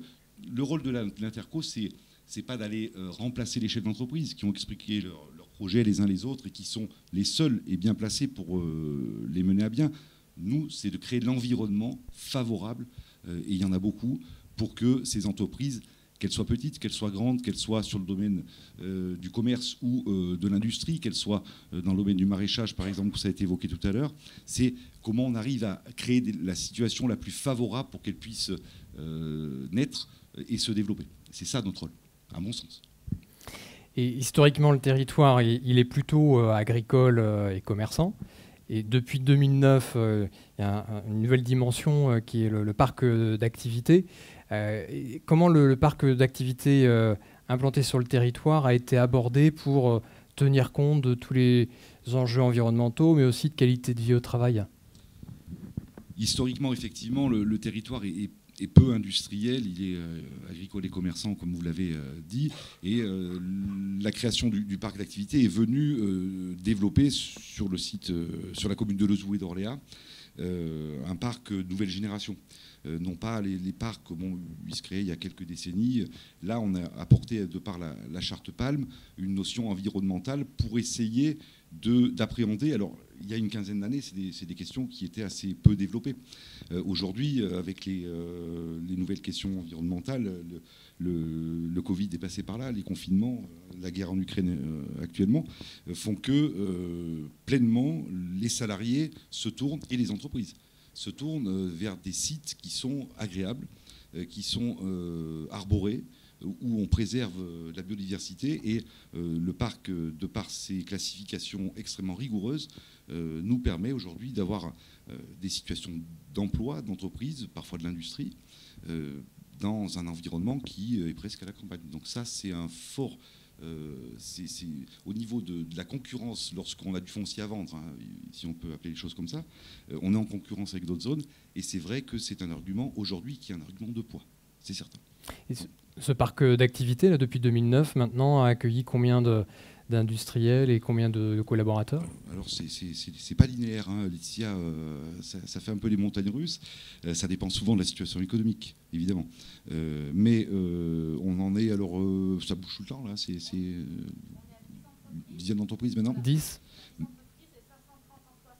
530 collaborateurs. Mais on connaît depuis quelques années vraiment beaucoup de demandes. Aujourd'hui, notre difficulté est plutôt de sélectionner les demandes, de regarder si les projets des entreprises correspondent à nos volontés sur le parc. On en refuse, euh, alors qu'on avait connu un trou euh, important hein, entre 2012 et 2017-18. Ça a été un petit peu compliqué. et aujourd'hui, voilà, on, va arriver à un parc sans doute plein à la fin du mandat qui est en cours d'ici 3-4 ans, peut-être avant, sans doute avant. Et donc la question de l'agrandissement, de l'extension du parc d'activité euh, se pose. Et puis il y a également euh, euh, d'autres parcs d'activité sur l'Interquois, Orléans, à d'autres sites aussi sur Josse qui ne sont pas des parcs intercommunaux, mais où il y a des entreprises, Ravel, j'en oublie sans doute, et que l'on doit aussi considérer, même si ce n'est pas des domaines proprement qui appartiennent à la Comcom. Et sur le territoire, vous avez lancé un plan climat. Euh, le plan climat, je pense qu'on en a tous entendu parler, mais pour autant pas forcément en, maîtrisant tous les détails. Euh, déjà de manière générale, le, plan climat, en, quoi ça consiste et comment il va se, mettre en place sur le territoire Si je dois être tout à fait franc, c'est pas moi qui m'en occupe. C'est toi Thierry donc qui C'est une bonne façon d'ouvrir la discussion ça va être et donc là, euh, je voudrais pas, je, sais de quoi il retourne, mais je voudrais pas euh, enlever la compétence à mon collègue VP. Euh, donc euh, je pense qu'il pourra en parler mieux que moi, puisque c'est lui qui suit cette question-là. Eh ben, on va commencer à, faire circuler à ce moment-là les micros. merci en tout cas pour, pour toutes les, informations. Le plan climat, donc, qui peut nous en parler dans la salle juste pour, Merci. le micro arrive. Et puis préparer vos questions ou témoignages, parce que ça va être le moment justement de commencer à, interagir avec euh, les, personnes qui sont devant vous. Alors ben, bonjour à toutes et à tous. Alors le, plan climat, alors c'est plan climat air énergie territoriale. Vous savez qu'on utilise des gros acronymes PCAET, on, on, a ça au quotidien. Alors déjà première chose, il faut remettre les choses dans le contexte. Euh, en fait, on en fait donc notre, on a lancé notre PLUI, le PLUI donc PLUI H parce qu'il y a la partie effectivement habitat.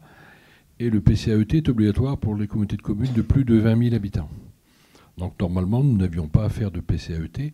Après, il faut regarder les choses de plus près. Le PCAET, le plan climat et énergie territoriale, mais en fait, il alimente le PLUI et le PLUI alimente aussi le PCAET. Il aurait été, euh, enfin, on aurait raté quelque chose si on n'avait pas mené les choses de façon concomitante. Alors qu'est-ce que c'est? Eh ben, C'est qu'aujourd'hui, euh, et Florent le disait par rapport à la zone d'activité, où on avait un peu anticipé les choses par rapport à la notion environnementale. on se rend compte qu'aujourd'hui, ben, quand, on, regarde les résumés des rapports du GIEC, on commence à prendre un petit peu peur. Et qu'aujourd'hui, ben, globalement, il faut qu'au niveau de notre communauté de communes, on apporte notre contribution à toutes ces notions d'environnement.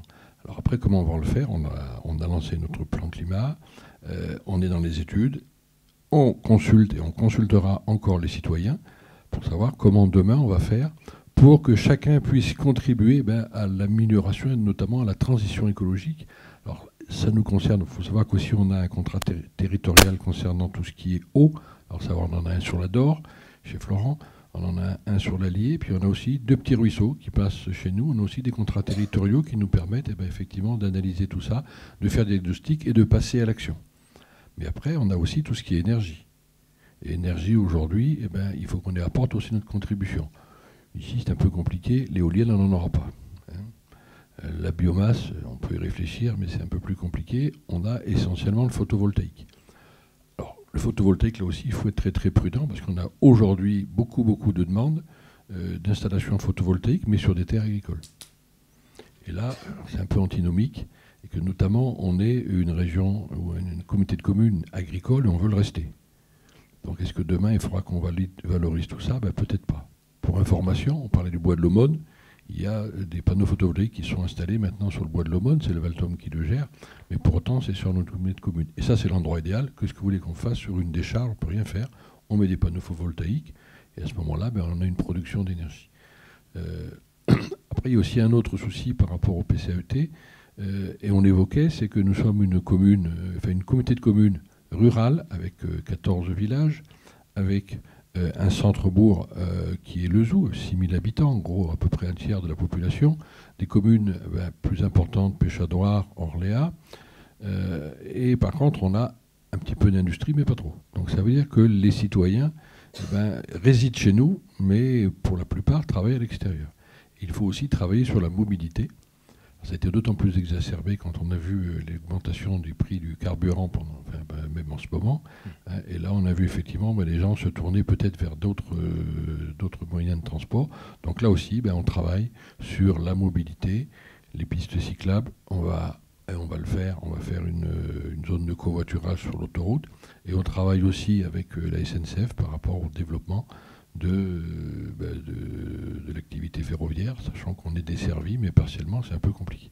Mhm. Et on est aussi tributaire de Clermont-Ferrand, parce que quand vous arrivez à la gare de Clermont-Ferrand, on a un problème après, parce qu'en fait, il n'y a pas grand-chose autour. C'est-à-dire que les gens, ou ils vont à pied, ou, bah, sinon, ils prennent leur vélo, ou mais il n'y a pas de desserte suffisamment efficace auprès de la gare de Clermont-Ferrand. Donc ça veut dire que c'est non seulement notre problématique, mais c'est aussi la problématique de la métropole. Et l'agenda du plan climat, il s'étend sur quelle période euh, dans sa définition, sa mise en œuvre? Par rapport, au, par rapport au PLUI, ça va beaucoup plus vite. On vient de recevoir d'ailleurs hier, hein, donc déjà, euh, le diagnostic. Et, dans les six mois qui viennent, on dire que pour 2023, euh, on pourra effectivement ben, mettre en place notre PCAET. Très donc on a le diagnostic, on va après retourner auprès des citoyens le diagnostic, c'est important de le, mettre à, destination et surtout de le partager, puisque ce soit dans le cadre de notre PLUI, notre PCAT, tout ce que l'on fait, on est parti sur l'impérative nécessité de communiquer et de communiquer fortement, et notamment grâce à la médiathèque. C'est un super vecteur de communication, de communiquer et d'avoir des remontées de la part de l'ensemble des citoyens, parce qu'il y a des gens, des choses à nous proposer, des choses à nous dire. On pourrait dire que la médiathèque est un peu l'agora euh, des temps modernes? Ah ben des, temps modernes, je ne sais pas, mais euh, chez nous, euh, oui. non, et c'est vrai que c'est un très très bon vecteur de, communication.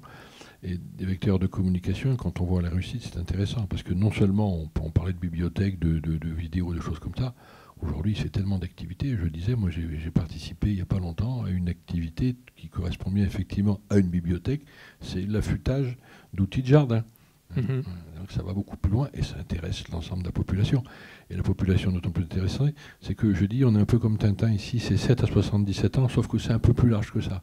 C'est 2 à 80-90 ans. Ça fait toujours plaisir de voir la population qui est dans la médiathèque avec un brassage des âges qui est intéressant. Tout le monde y trouve son compte. Merci. Est-ce que quelqu'un dans la salle voudrait prendre la parole? Oui, pour euh, questions, réactions. Oui, bonjour, euh, Guylaine Hirso, je suis la trésorière des Petits Débrouillards euh, qui gère euh, la tournée des tiers-lieux. Je voudrais, avec les, des membres de la Convention Climat, d'abord, je tenais à prendre la parole pour vous remercier et puis je trouve vos, activités tellement formidables.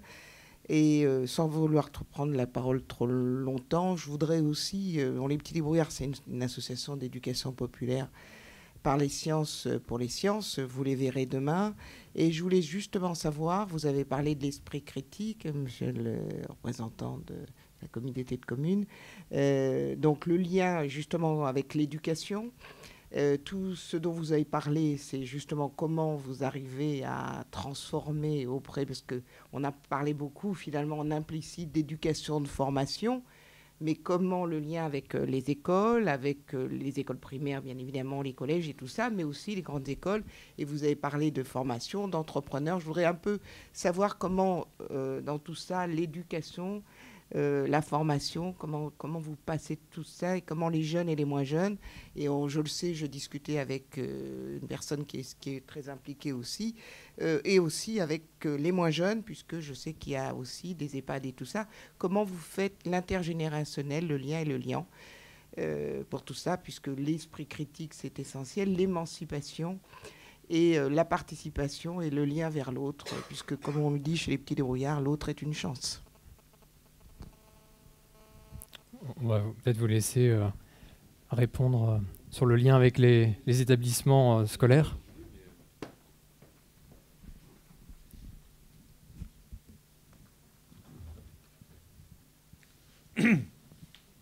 Alors moi, je peux apporter une réponse. Je peux apporter une réponse du point de vue de- des activités classiques en fait que l'on peut conduire à partir de la médiathèque. Euh, là aussi, euh, consigne, consigne de la part des élus dès l'ouverture du bâtiment, donc à, ce que le bâtiment soit. Ça a été, donc je me rappelle à l'époque, hein, euh, une réelle demande de la part des élus qui ont présidé aux, aux destinées de, la collectivité lors du précédent mandat, que cet équipement-là soit tourné aussi vers les jeunes, bien évidemment. Avec c'était un, vrai point d'ancrage. Donc la médiathèque, tout naturellement, a conduit et conduit encore des activités en direction des, classes du territoire, 80 à peu près.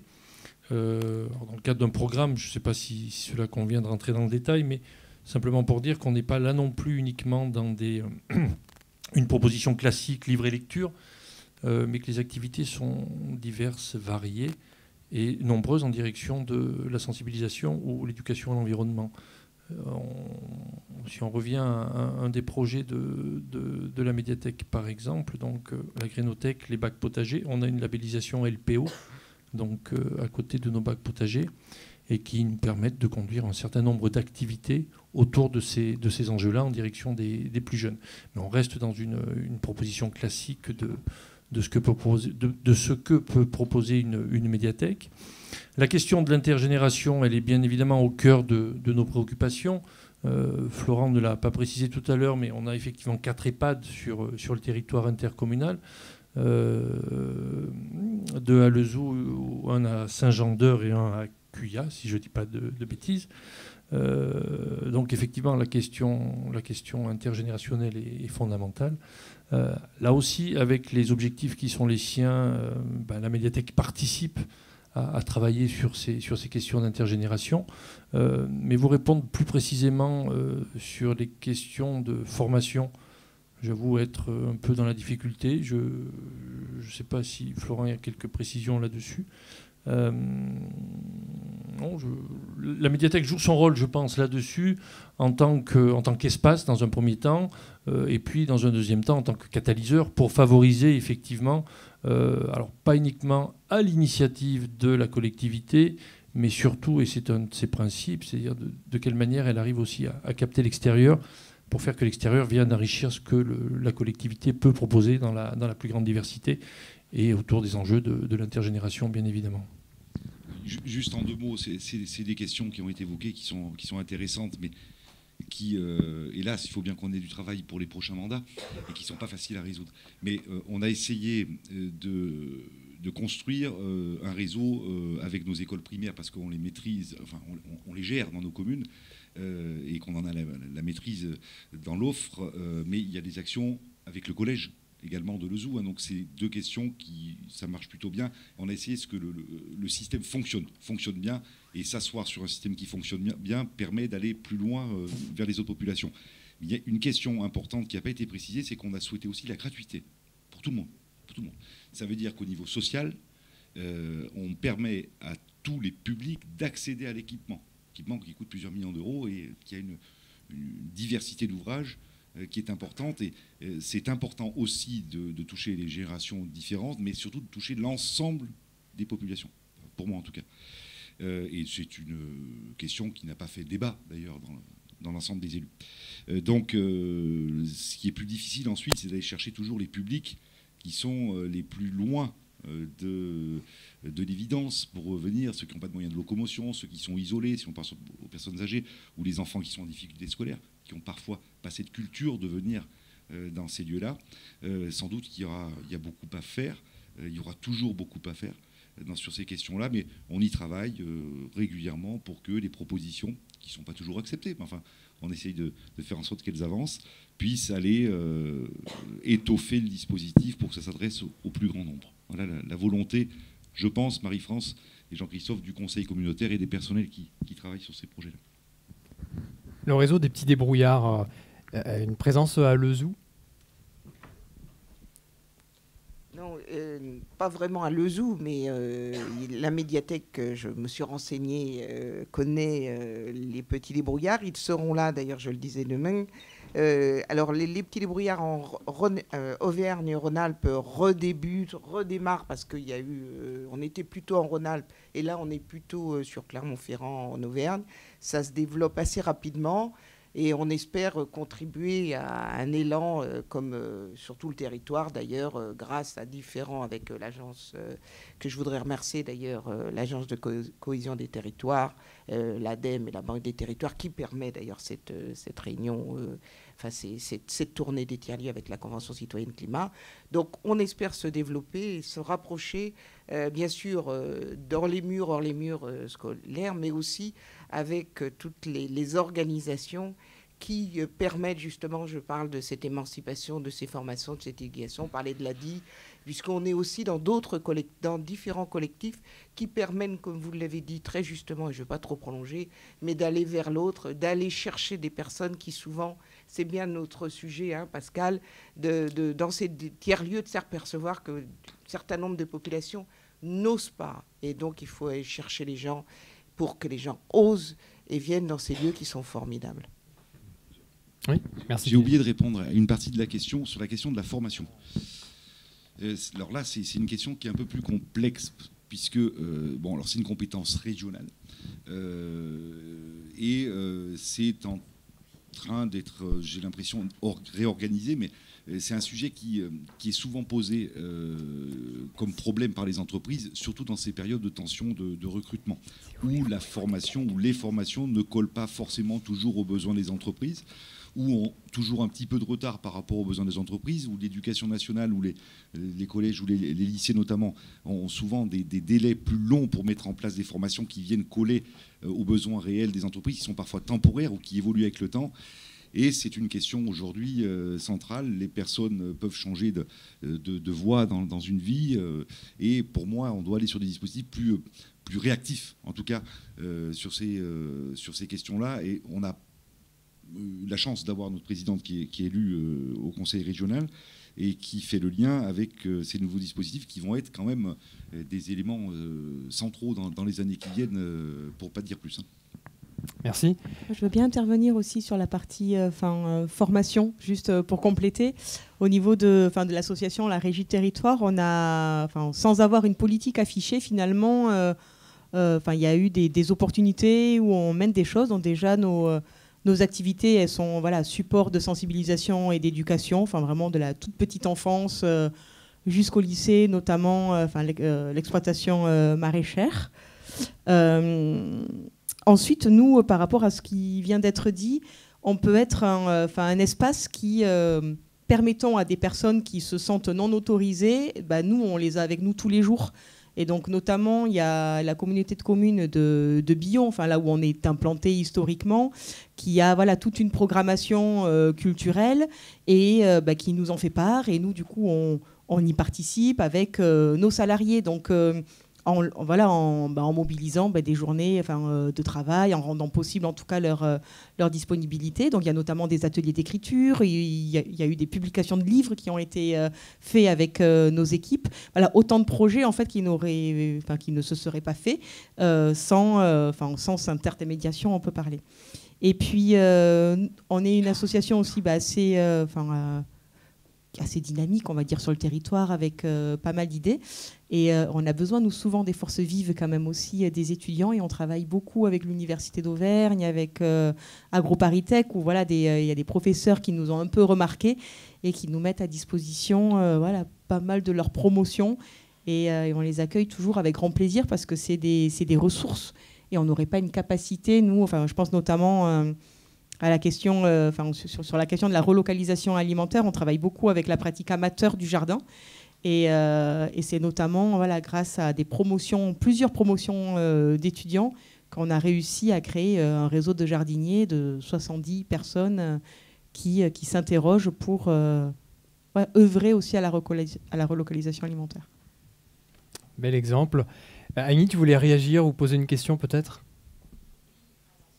Tu peux peut-être te présenter dans un premier temps. Bonjour, oui, là on m'entend. Donc Annie Kpata, je suis euh, donc co-organisatrice euh, de l'événement qui nous euh, a réunis aujourd'hui de la tournée des tiers-lieux. je suis également présidente de l'association Les 150 et donc membre de la Convention citoyenne climat. Je vois qu'autour de cette table, il y a différents profils. Donc déjà, je vous remercie d'avoir témoigné de vos expériences. Plusieurs points, mais pour essayer d'être brève, euh, là, je vois par exemple qu'il y a une reconversion euh, et euh, je pense qu'on l'entend de plus en plus cette volonté justement d'aller vers un, vrai projet de vie. vous êtes reconverti, on va dire, sur l'aspect plutôt agriculture. la question, c'est un, en termes de formation. Deux, est-ce que vous avez connaissance de toutes les aides? Euh, Je prends un exemple. je, ne sais pas quel âge vous avez, mais je ne pense pas vous donner la quarantaine, peut-être, oui ou non. Mais dans tous les cas, euh, mais euh, par exemple, par rapport à des, subventions comme FEDER, on a des, personnes qui, rentrent en agriculture et à partir de 40 ans qui ne peuvent pas bénéficier de toutes les aides. Et ça, je pense qu'à un moment donné, dans son parcours de reconversion, c'est important d'avoir accès à l'information. Et avec euh, la, Convention, on a vraiment valorisé ce qu'on appelait le guichet unique, qui permet d'avoir accès à une information fiable et visible euh, sur différentes euh, zones d'activité. C'est un peu cette notion justement d'arrêter de, travailler en silo, mais d'être plutôt sur une version systémique des choses. Donc, merci pour votre témoignage, mais je pense qu'il faut encore continuer en lien avec la formation et justement ce métier applicatif. le retour qu'on a aussi souvent, c'est que dans les métiers de formation à la terre, on a beaucoup de technique et pas suffisamment de pratique. Donc vous dites que vous avez des jeunes de formation et qui justement se confrontent au milieu rural, périurbain ou je, ne sais pas suffisamment euh, euh, métropolitain, mais ça je pense que c'est vraiment un axe euh, à à continuer. sur la partie, et c'est aussi pour ça qu'on a voulu travailler avec la médiathèque, donc la partie de la participation citoyenne qui est valorisée ici. Vous dites la médiathèque, mais il n'y a pas que la médiathèque. vous dites les appuis avec euh, par exemple les écoles, euh, en ayant euh, été justement dans l'Est avec un maire et un, projet citoyen, on se rend compte assez régulièrement quand même qu'il peut y avoir des initiatives, mais qui ne sont pas forcément toujours suivies par les habitants.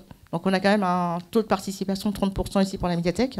La, question, et je pense que l'ouverture que vous faites en ayant cette capacité d'intégrer vos habitants dans la consultation, mais est-ce que vous vous avez l'impression qu'en termes de proximité, que les habitants se sentent vraiment concernés sur l'ensemble des sujets et des euh, projets que vous mettez en œuvre dans, euh, dans la ville ou dans la communauté d'agglomération. Ça, c'est un, deuxième point. Euh, vous êtes sur une offre où vous proposez un, crédit et une subvention. on a beaucoup de projets en termes de, comment dire, de fonds et de budget qui n'arrivent pas forcément à développer leur projet.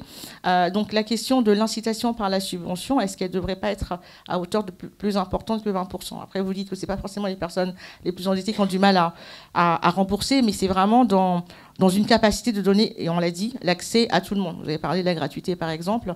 Euh, donc, je, ne sais pas sur quelle proportion on arrive aussi à toucher euh, le maximum de personnes. Je ne sais pas si je pourrais faire euh, le tour de, tout ça, mais c'est vrai qu'avec le retour de différentes étapes et des personnes que l'on rencontre, c'est important effectivement de, mettre ça en œuvre et avec des expériences comme l'économie circulaire ou, Récupère, je pense qu'on peut dire aussi beaucoup de choses là-dessus. Je m'arrête là pour l'instant, on pourra échanger par la suite.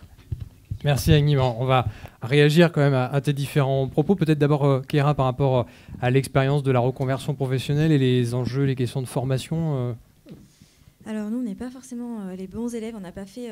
du coup, mon mari avait plus de 40 ans. Lui, moi, je vais les avoir cette année. effectivement, quand on veut se reconvertir dans, la, dans l'agriculture, quand on a plus de 40 ans, on n'est pas moins aidé, on va dire.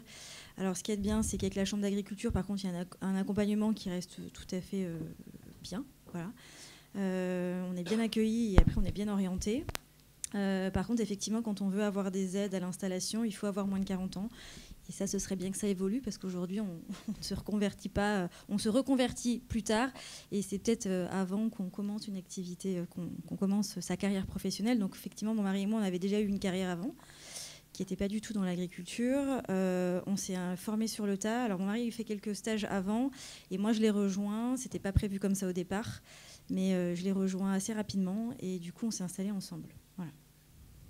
Mais après pour les aides, euh, voilà. Et après comme vous disiez effectivement pour nous deux. Alors pour lui, c'était qu'il avait fait le tour de son métier. Moi, j'avais faisais tout à fait autre chose aussi, et j'avais besoin de, trouver plus de sens à ce que je faisais dans mon quotidien.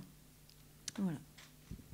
Ah, puis on a, senti dans les échanges de préparation de, cette table ronde que votre expérience à l'un et à l'autre euh, euh, professionnelle avant la reconversion vous donnait des clés euh, dans la gestion de projet et donc la capacité à, se mettre en ordre de marche et à, trouver les bons interlocuteurs, les bonnes informations, qui étaient déjà très présentes. Donc peut-être que dans l'enjeu de la reconversion, au-delà d'être formé au secteur visé, il y a déjà des bases euh, dans cette capacité à bah, apprendre. On pourrait rejoindre évidemment la philosophie des petits débrouillards, mais euh, la gestion de projet et, l'autonomie dans la capacité à aller chercher les bons interlocuteurs, les bonnes informations, pourquoi pas la médiathèque d'ailleurs, euh, c'est peut-être quelque chose que vous avez eu la chance d'avoir par votre parcours, mais qui pourrait être renforcé plus largement dans l'accompagnement de reconversion des, publics. Oui, effectivement, il faut aller à la pêche aux infos. Et euh, effectivement, le fait d'avoir eu tous les deux une carrière professionnelle avant nous, nous permettait d'être mieux outillés que, certaines personnes, euh, potentiellement. Mais du coup, effectivement, il faut aller chercher à droite à gauche toutes les informations pour pouvoir euh, s'installer au mieux. Enfin, en tout cas, quelle que soit la reconversion, de toute façon, parce qu'il y a plein de gens qui, qui, se reconvertissent dans des domaines qui étaient complètement différents de, de leur formation initiale et après de leur carrière, pour ceux qui en ont eu une après, quoi.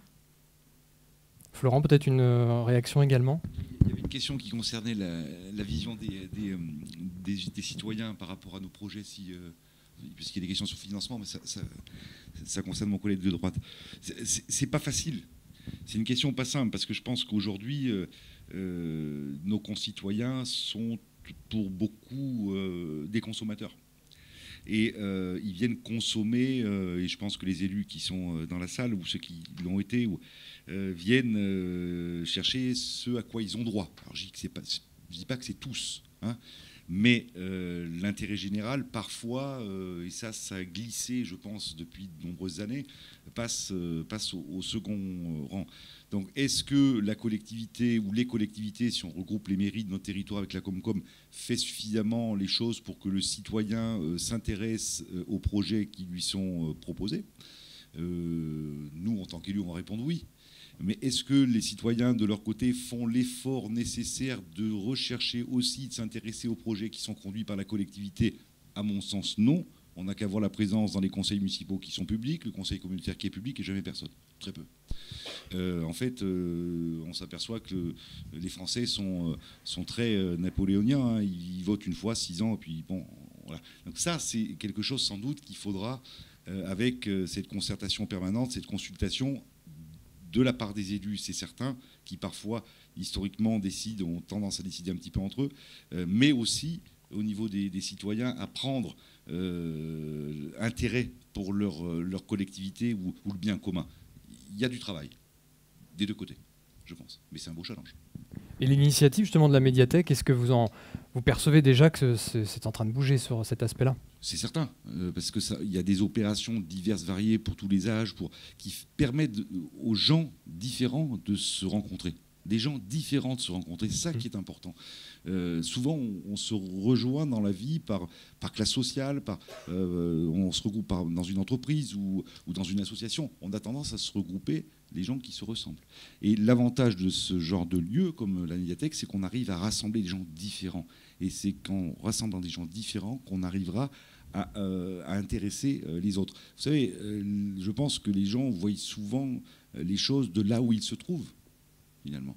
Euh, et quand on essaye de se mettre à la place de la personne qui est en face de nous et de voir le monde comme il le voit lui, on change parfois euh, de position. Euh, ça s'appelle un peu la tolérance. Et, c'est en s'intéressant à tout ça qu'on arrive à, l'intérêt général qui doit redevenir la, maîtrise de, la gestion publique. Perspectivisme au service de l'engagement citoyen.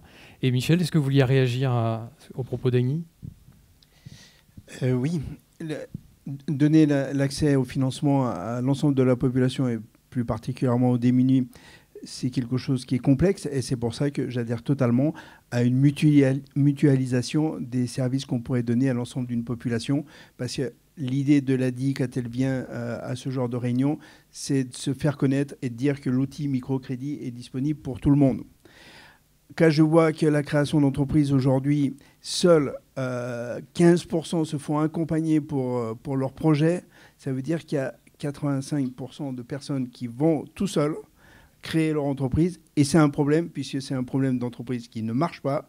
Et c'est une, grosse source de, déception, parce qu'on sait qu'à la base, la création d'entreprise, ça part d'une passion. Aujourd'hui, les statistiques nous disent que beaucoup de gens veulent l'indépendance, c'est quelque chose de passion. Mais s'ils ne sont pas accompagnés, s'ils sont mal financés, parce qu'on a un autre problème, c'est qu'on a des gens qui s'autofinancent. Et ça, c'est une catastrophe, parce que si l'entreprise démarre euh, moins vite que prévu, il n'y aura plus d'argent. Et ça va être accompagner les gens contre le mur. Mais comment faire? Et donc, la seule chose que je vois aujourd'hui, c'est qu'on mutualise tous euh, notre service disponible et chacun vient le prendre. Mais le problème, c'est que a, et particulièrement dans les zones rurales, ce qu'ils entendent à la radio, ce qu'ils voient sur Internet, ils pensent que ce n'est pas adapté pour eux. Et c'est pour ça qu'à l'a dit, on veut faire des permanences en zone rurale. On a mis une, euh, créé une agence dans le Cantal. On a créé à Montluçon. On est euh, dans des, à, Montbrison, pas, loin non plus, pour justement être à proximité des gens, pour leur dire que même dans les zones rurales, c'est euh, fait pour eux mais c'est très compliqué et on a besoin de ce genre de réunion pour être connu, une mutualisation des, des, associations, puisqu'en fait, on, sert pour la, plupart toujours les, mêmes personnes. Mais c'est difficile de les motiver et c'est difficile de les, les, obliger à venir nous voir. Est-ce que vous aviez euh, des, témoignages, réactions? Oui? Tu me fais signe, Annie. Euh. Madame, vous aviez euh, une question non Et alors après, peut-être aussi qu'entre intervenantes et intervenants, vous voulez euh, réagir, parce qu'on a fait un tour de table linéaire, mais vous avez sûrement des, réactions entre vous. Annie, tu voulais... Non? Ah, Rebondir, Madame, oui. Euh,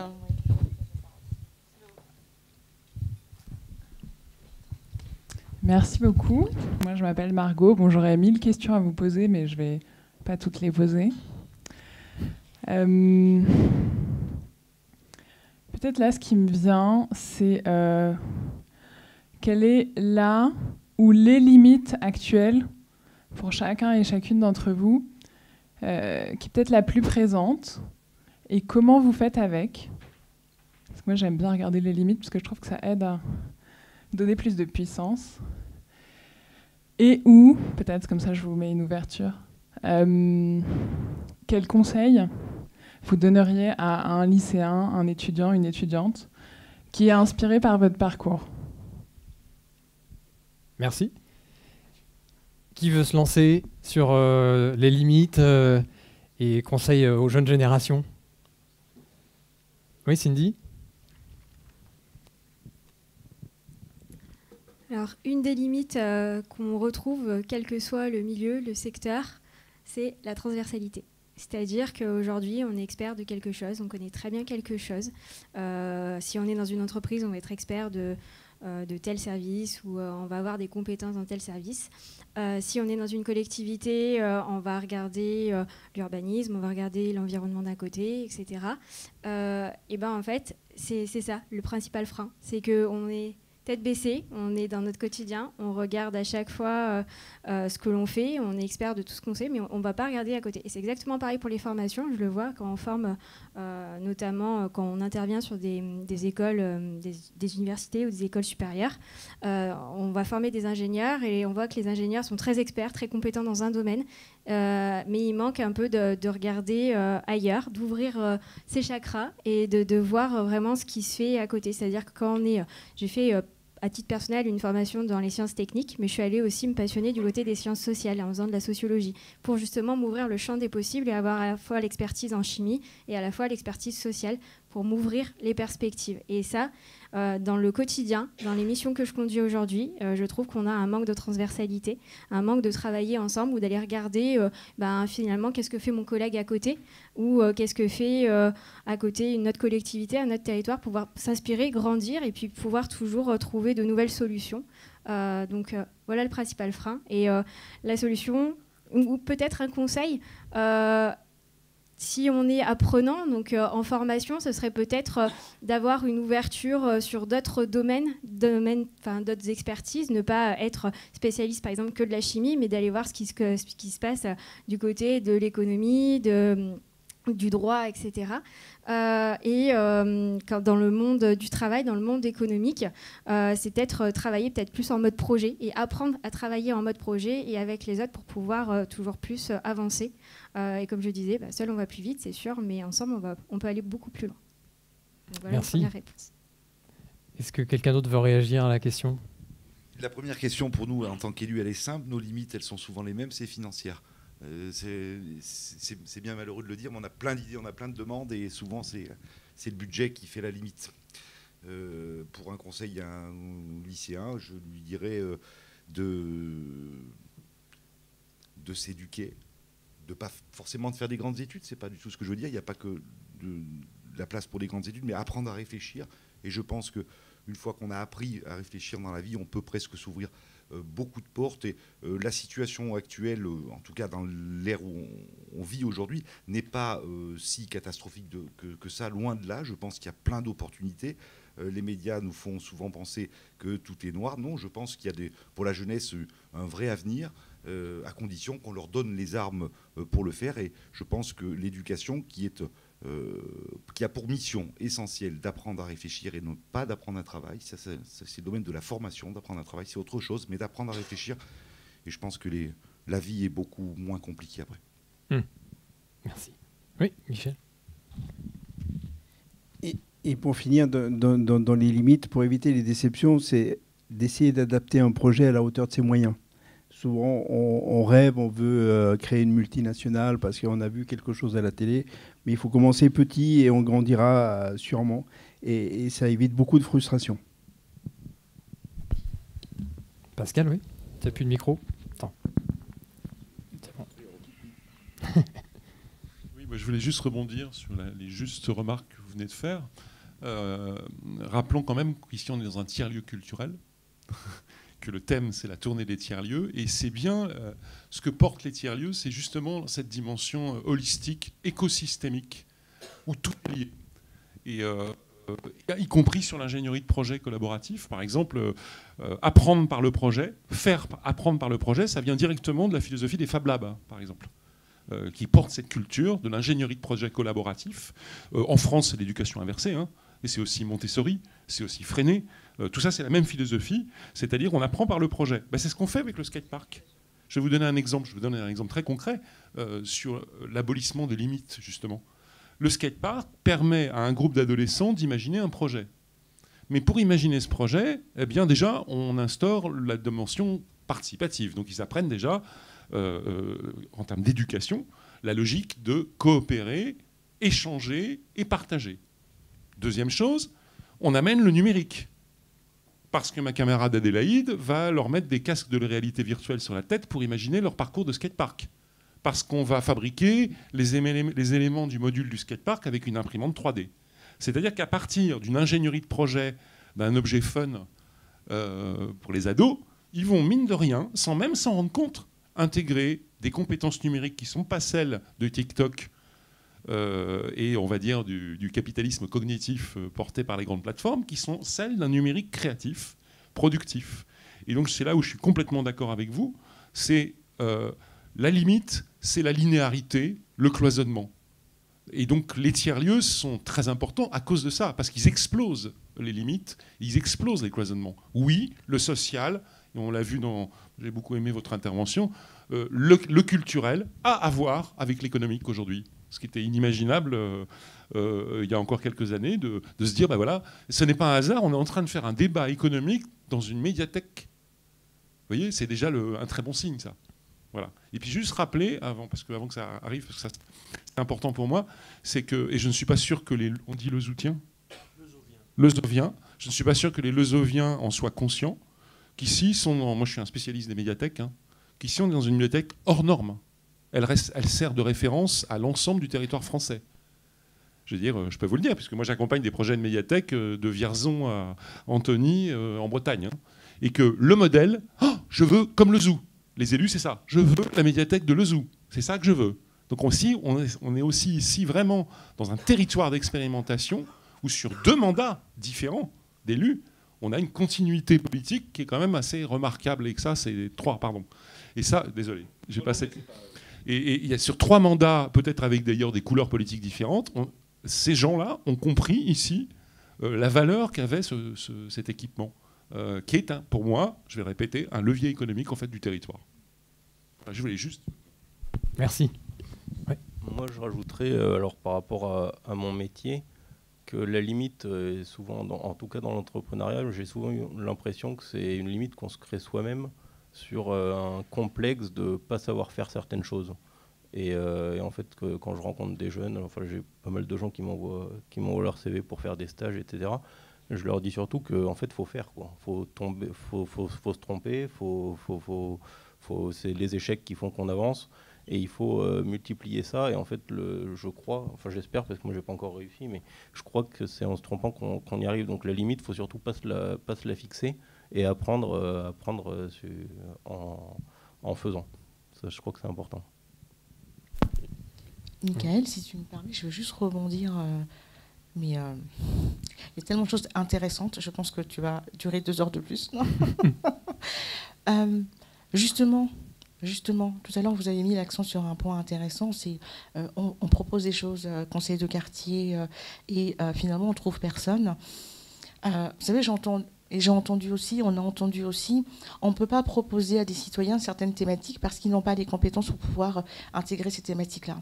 Euh, tout à l'heure, vous avez parlé de votre plan énergie-climat et euh, de votre PLUI en, insertion, euh, en, intégration pardon, de, vos citoyens.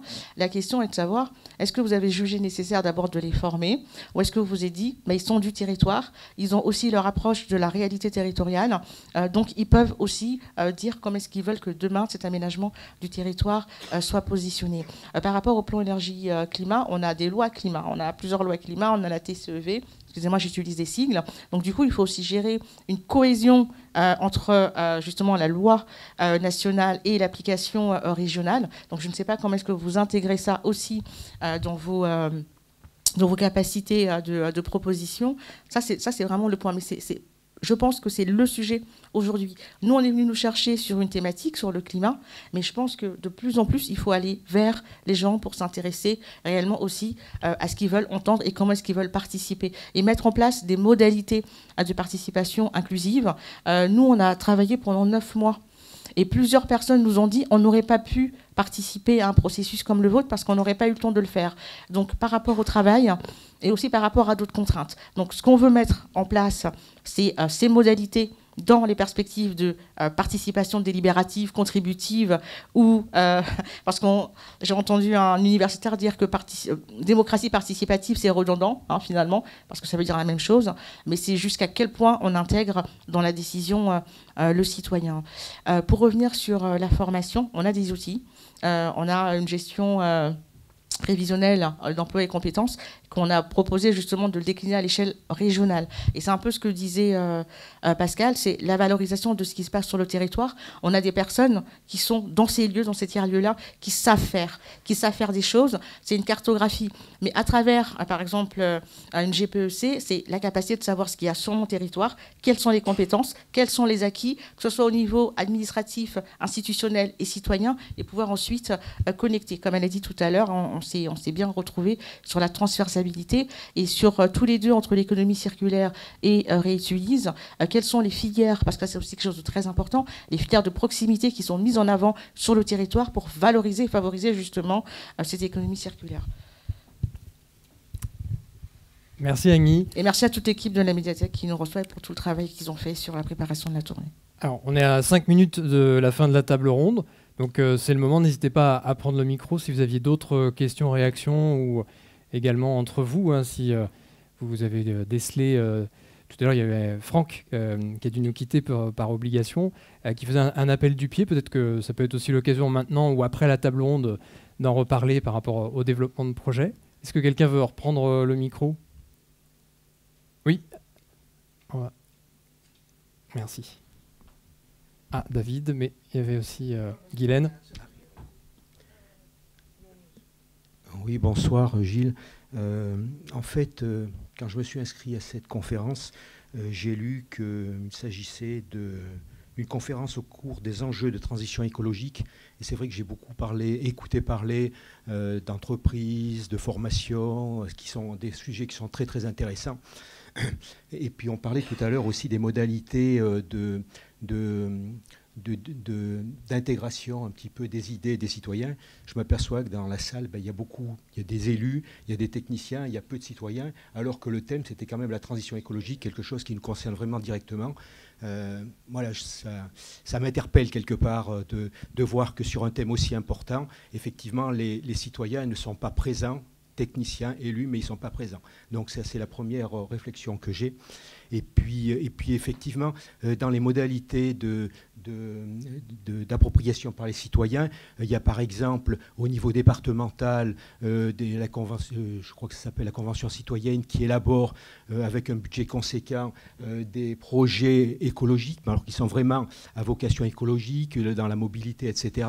Alors moi la question que je me pose c'est vis-à-vis de l'interco, quelle est la stratégie pour parvenir justement à plus d'écologie? Je lisais très dernièrement qu'il y avait une commune qui donnait à ses habitants euh, des récupérateurs d'eau euh, sous la condition qu'ils s'engagent à les utiliser pour, euh, pour, pour, les jardins, pas, le rejeter bien entendu dans les eaux pluviales qui surchargent les, les, les, les, réseaux, etc. Mais ma question, c'est quelque part, enfin mon interrogation, c'est de quelle manière il va y avoir un plan stratégique pour l'écologie au niveau de l'Interco, comme par exemple euh, le département le fait vis-à-vis de la consultation des citoyens au point de vue départemental. Peut-être euh, Florent voulait répondre. En fait, ce que, vient de dire Gilles, euh, c'est en fait c'est l'objectif du PCAET. Hein, c'est dans ce document-là qui va, tout doit être, enfin, ce qui, la volonté politique doit se traduire dans ce document-là. Il est là pour ça, à mon sens. Oui. Alors, alors concernant le, le, PCAET, le plan climat et énergie territoriale, alors déjà, tu as parlé de la formation. Alors, c'est compliqué de former les, citoyens.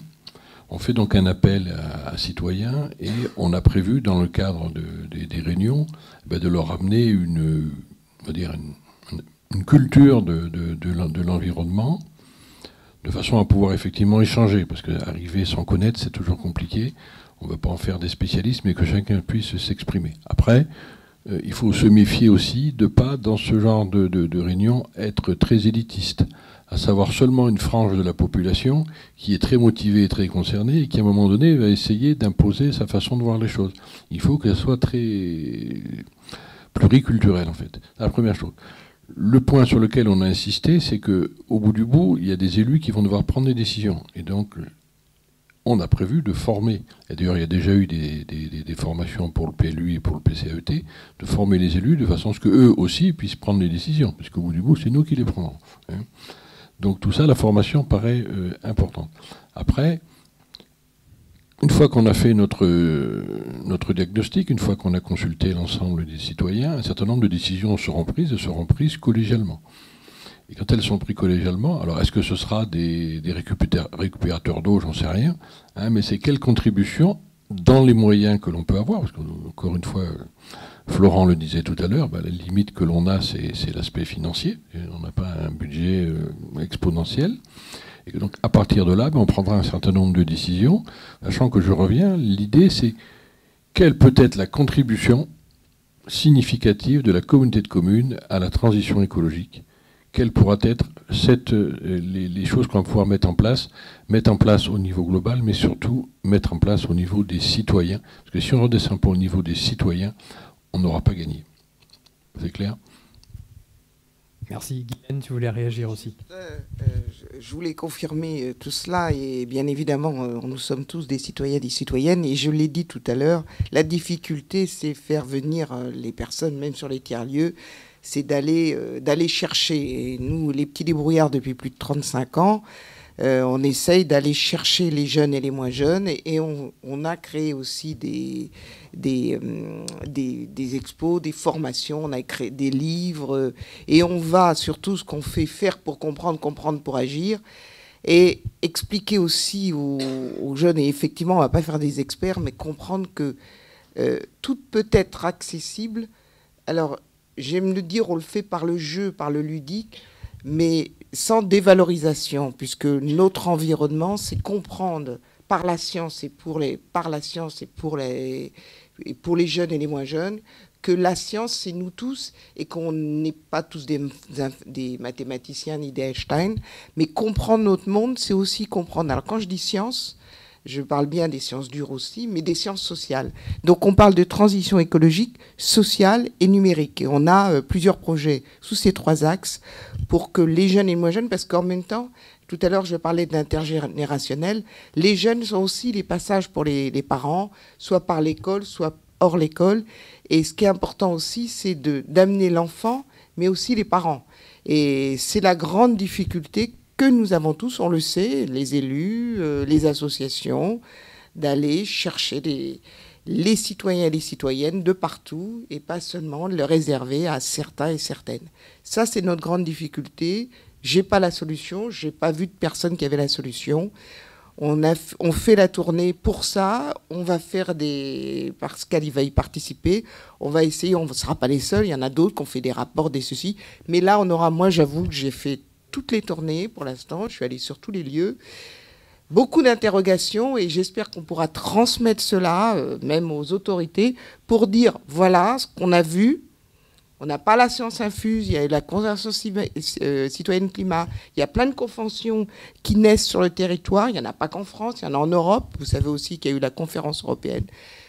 Ça fait, il y a eu la Convention de Russe il y a plus de 15 ans euh, pour créer le droit à l'information des citoyens et des citoyennes il faut qu'on se dise que la démocratie, c'est essentiel, quel que soit le, vote que nous faisons les uns et les autres.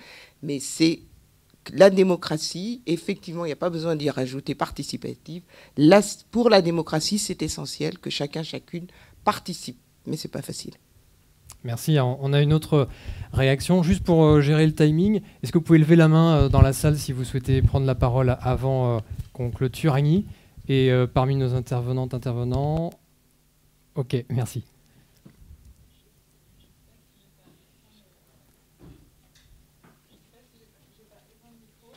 Alors, peut-être que le micro est coupé. Euh, non, il est actif.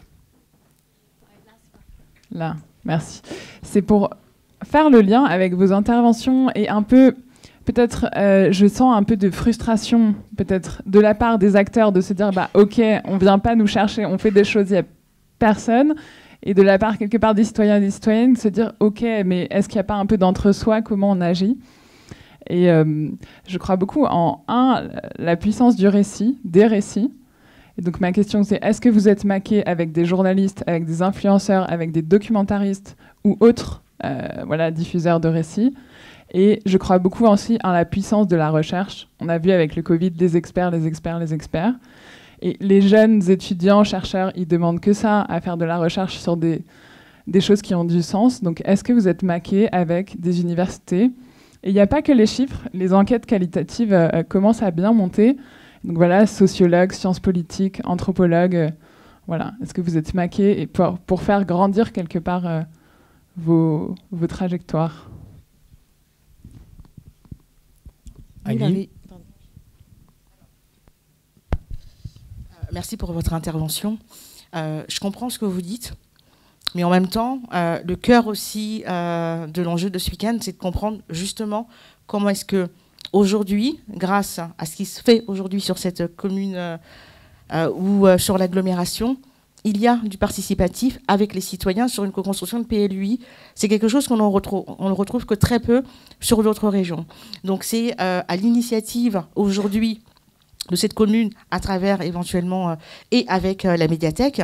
Donc le, point d'ancrage, c'est de savoir comment est-ce que les citoyens sont informés ou restent informés ou vont s'informer de ce qui se passe sur le territoire. Et je le lis très régulièrement, ne serait-ce que même au niveau euh, des, enquêtes publiques, c'est vrai que même lorsqu'il y a des projets, l'information ou la communication, quelle qu'elle soit faite, est encore trop opaque, pas suffisamment transparente. Ça, c'est le premier point. Donc, est-ce que vous saviez qu'il y avait un, plan de co-construction sur le PLUI, sur la commune et sur même l'agglomération? Ça, c'est la, première question. La deuxième, c'est effectivement, aujourd'hui, ce n'était pas tant l'échange sur le fond de ce qui peut se faire sur la transition écologique, même si euh, on vous invite encore euh, demain euh, à, participer à ces échanges sur un peu plus de fond. Mais un, point qui me, que, je soulève, c'est lorsque on travaille avec la, tournée des tiers-lieux sur l'ensemble des, des, des, thématiques que l'on veut aborder, la plupart du temps, certains nous disent Mais moi, je ne fais pas d'écologie, je ne fais pas d'environnement. Et quand on leur demande ce qu'ils font, ils font, bah, je fais de l'insertion sociale, par exemple. Alors, qu'est-ce qu'on entend par transition écologique? Est-ce que dans la transition écologique, lorsqu'on a parlé des filières, lorsqu'on a parlé de formation, lorsqu'on a parlé de l'agro, lorsqu'on a parlé de la jeunesse, on ne parle pas d'une certaine forme de transition? La question, c'est qu'est-ce qu'on y met? Ça, c'est le deuxième point. Et maintenant, effectivement, et vous avez raison, après, il faut des réponses concrètes. Et ces réponses concrètes, elles doivent se trouver. Et avec cette étape-là, à la fin de cette étape-là, on proposera, avec la participation des citoyens qui seront là, euh, des... euh, des pistes concrètes de ce qu'on veut porter aussi au niveau euh, du territoire auprès des élus. Et donc ça, c'est important. Mais la question, c'est comment est-ce qu'effectivement on diffuse l'information et la communication oui, je, peux juste réagir, euh, parce qu'il faut que je vous quitte absolument, parce que là, je vais me faire... Euh, ça va pas faire. non, juste par rapport au PLUI, la concertation et l'enquête publique, PLU, PLUI. si vous voulez qu'on vous invite de l'expérience qu'on peut avoir les uns les autres à, assister à une commission, enfin une enquête publique qui ont lieu dans les communes ou sur la Comcom pour le PLUI. Euh, la, communication est souvent obligatoire d'ailleurs et tout le monde le sait. Si vous avez sur un mois euh, quatre jours dans le mois où il y a le commissaire enquêteur indépendant nommé par le tribunal qui vient faire l'enquête publique, on a souvent 200-300 personnes. 200-300 personnes qui viennent pour une chose, voir si leur terrain va passer constructible. Il n'y a pas une personne sur 200.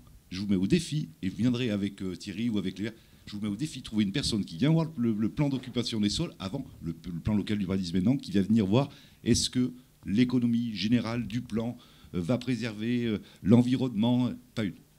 La seule chose, où est mon terrain? Est-ce qu'il est là? Est-ce qu'il est constructible? Voilà, pour que je transmette à mes enfants un peu plus. Les élus, euh, vrai ou pas vrai Donc là, il y a du boulot et c'est pas forcément. La communication se fait très bien, tout le monde le sait mais personne vient pour autre chose que ça. Enfin, de mon cas personnel, mais je pense que c'est partagé.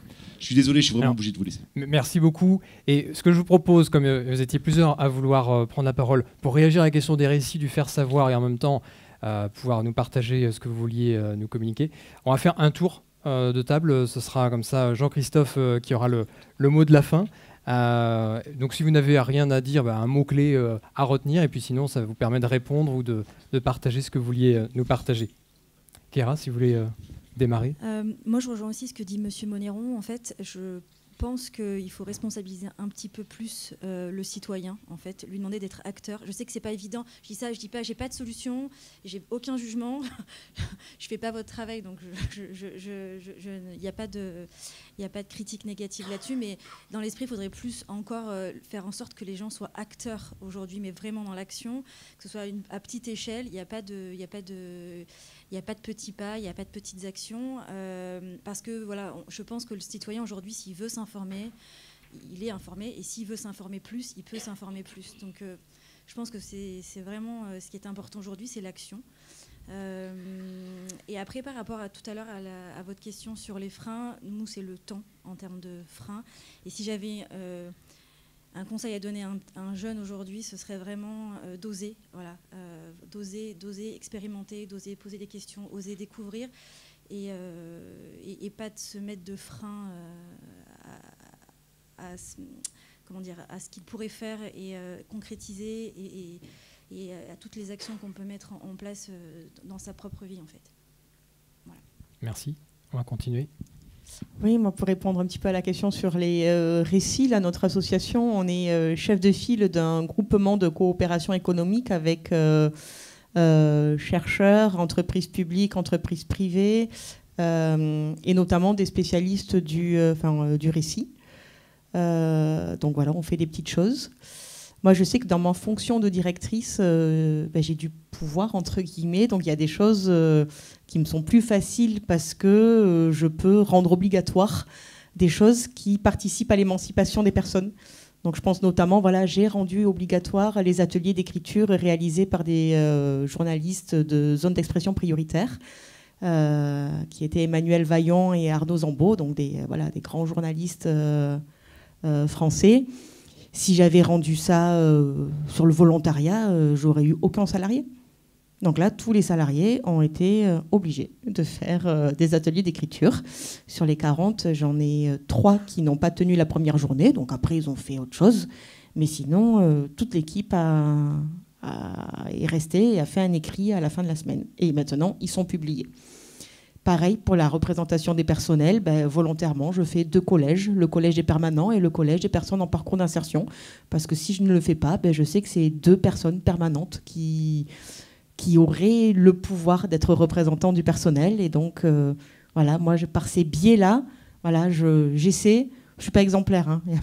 De choses qui vont pas, mais en tout cas, voilà, me dit à un moment donné, on a aussi des leviers en fonction de la place qu'on occupe et, euh, comment on veut la rendre euh, utile. pour compléter, moi, sur la transversalité, moi, j'ai des difficultés parce que quand on est des structures comme ça, un peu atypiques, hybrides, ah bah, en fait, la transversalité aussi dans les politiques publiques et dans les soutiens financiers, euh, voilà, on a des très gros projets, mais euh, comme on cause comme on ne coche pas toutes les cases, ben on peut être exclu euh, de soutien alors qu'il y a un intérêt pour le territoire. Donc là, moi, j'ai j'ai une problématique actuelle parce qu'on a un projet de construction exemplaire et démonstrateur d'un bâtiment agricole. Euh, et euh, voilà, les, leviers financiers ne sont pas évidents euh, au regard de notre structure, de nos statuts etc. Donc je suis preneuse un peu de la personne autour de la table qui pourrait un peu m'aider. j'ai un peu repéré, j'ai des cartes dans ma poche, donc voilà. et puis sur les, comment dire, enfin sur le conseil au, aux lycéens, enfin moi, ça serait euh, de dire quoi ont tes rêves. Ça serait également de dire qu'est-ce que tu peux apporter euh, dans la structure collective euh, voilà, que, que, je dirige, parce que ça, y a, on reçoit énormément de demandes de stage, mais le jeune oublie de nous dire en quoi il est utile pour nous. Et c'est un peu ce don contre don, en fait, dont on a besoin partout, dans notre quartier, dans notre société, y compris dans, dans les entreprises. Voilà, c'est pas on ne demande pas uniquement quatre semaines de stage pour valider une formation mais c'est aussi parce que voilà, moi en tant que jeune, je vais pouvoir vous apporter ça. Donc ça, voilà, moi, c'est ce que j'aurais envie de lui dire. Ne sois pas que dans la demande. Euh, tu as tellement de choses aussi à pouvoir nous apporter que dis-les-nous. Merci. Michel? Eh bien, pour finir, je, vais essayer de, passer un message. avec la transition écologique, évidemment qu'on est tous pour la transition écologique, on est favorable, notamment elle a dit. Mais il y a quand même un problème, c'est comment on fait avec les invisibles, avec ceux qui n'ont pas de moyens de, faire la transition écologique. Quand on a 470 euros et puis qu'on leur dit pour travailler, il faut prendre un véhicule propre, on prêtera jusqu'à 5000 euros. Malheureusement, ça ne suffira pas. Et c'est une grosse inquiétude parce que vous savez qu'en France, il y a quand même pas mal de zones ZFE, zones à faible émission euh, carbone. Et, comment on va faire puisqu'il y a 45% des véhicules qui seront plus acceptés ou acceptables dans ces, dans ces villes? Des statistiques, 4 emplois sur 5 est refusé pour un problème de mobilité, particulièrement dans notre zone, euh, dans nos zones rurales. Donc euh, aujourd'hui, moi, je suis aussi pour aller chercher du fonds propre pour aider euh, ces personnes à, compléter le microcrédit pour avoir sous forme de subvention des, fonds pour acheter un véhicule propre, par exemple. Mais, mais c'est compliqué. Un exemple, euh, dans l'île de France, ce n'est pas notre région malheureusement, on a réussi avec la région à, avoir des véhicules électriques. C'est une Dacia Sprint pour 1900 euros sous forme de LOA, ce qui leur coûte euh, une centaine d'euros sur, euh, sur, sur 30 mois. Et là, ça commence à être acceptable, mais malheureusement, il n'y a que l'île de France aujourd'hui euh, où ça existe. Auvergne-Rhône-Alpes s'est dirigé beaucoup sur l'hydrogène. Et aujourd'hui, mon inquiétude, c'est ce qu'on appelle les invisibles, mais, mais croyez-moi, il y en a beaucoup qui sont en phase d'invisibles et qui ne sont pas dans la capacité d'acheter des véhicules propres et ça, c'est une interrogation. Merci à tous. N'est-ce pas?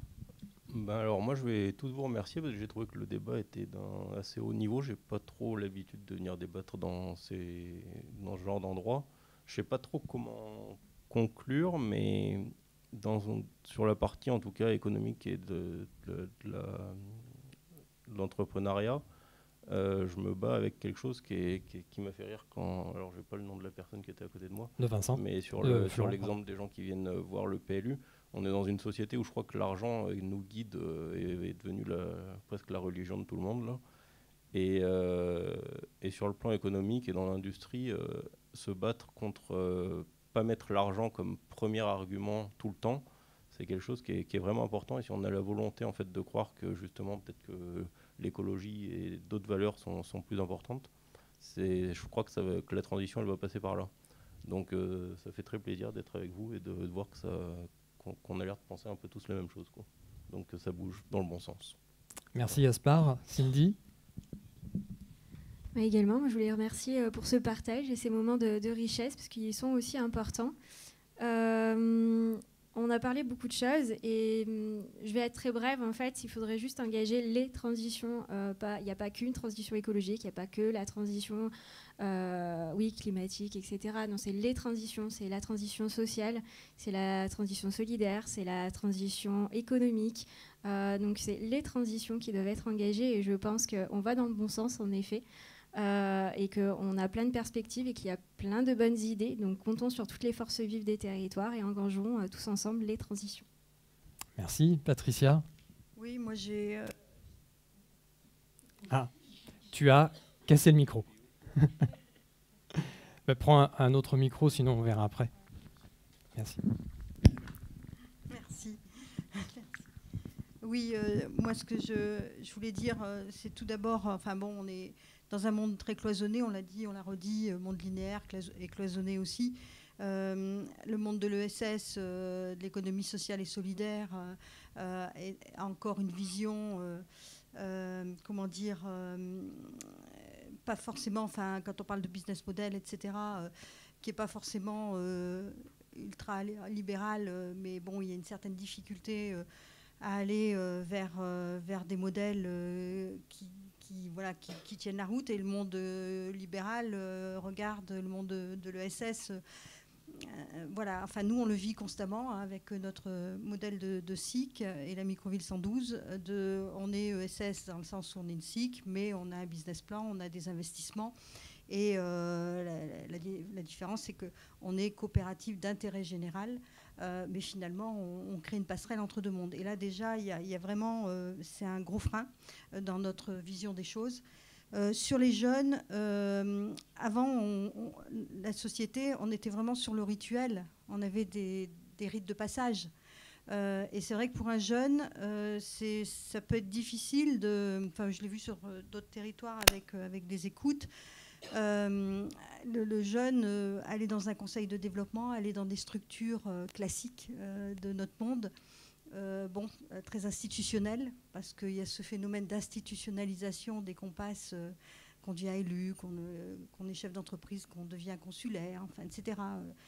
ça aussi, je l'ai constaté en, en, animant y compris des clusters, une espèce d'institutionnalisation dès qu'on change de posture. Et euh, finalement, pour un jeune euh, qui a envie de faire des choses, euh, il n'a pas forcément envie de rentrer dans, ces structures-là. donc, du coup, il y a un vieillissement de, ces structures-là et les jeunes n'y vont pas.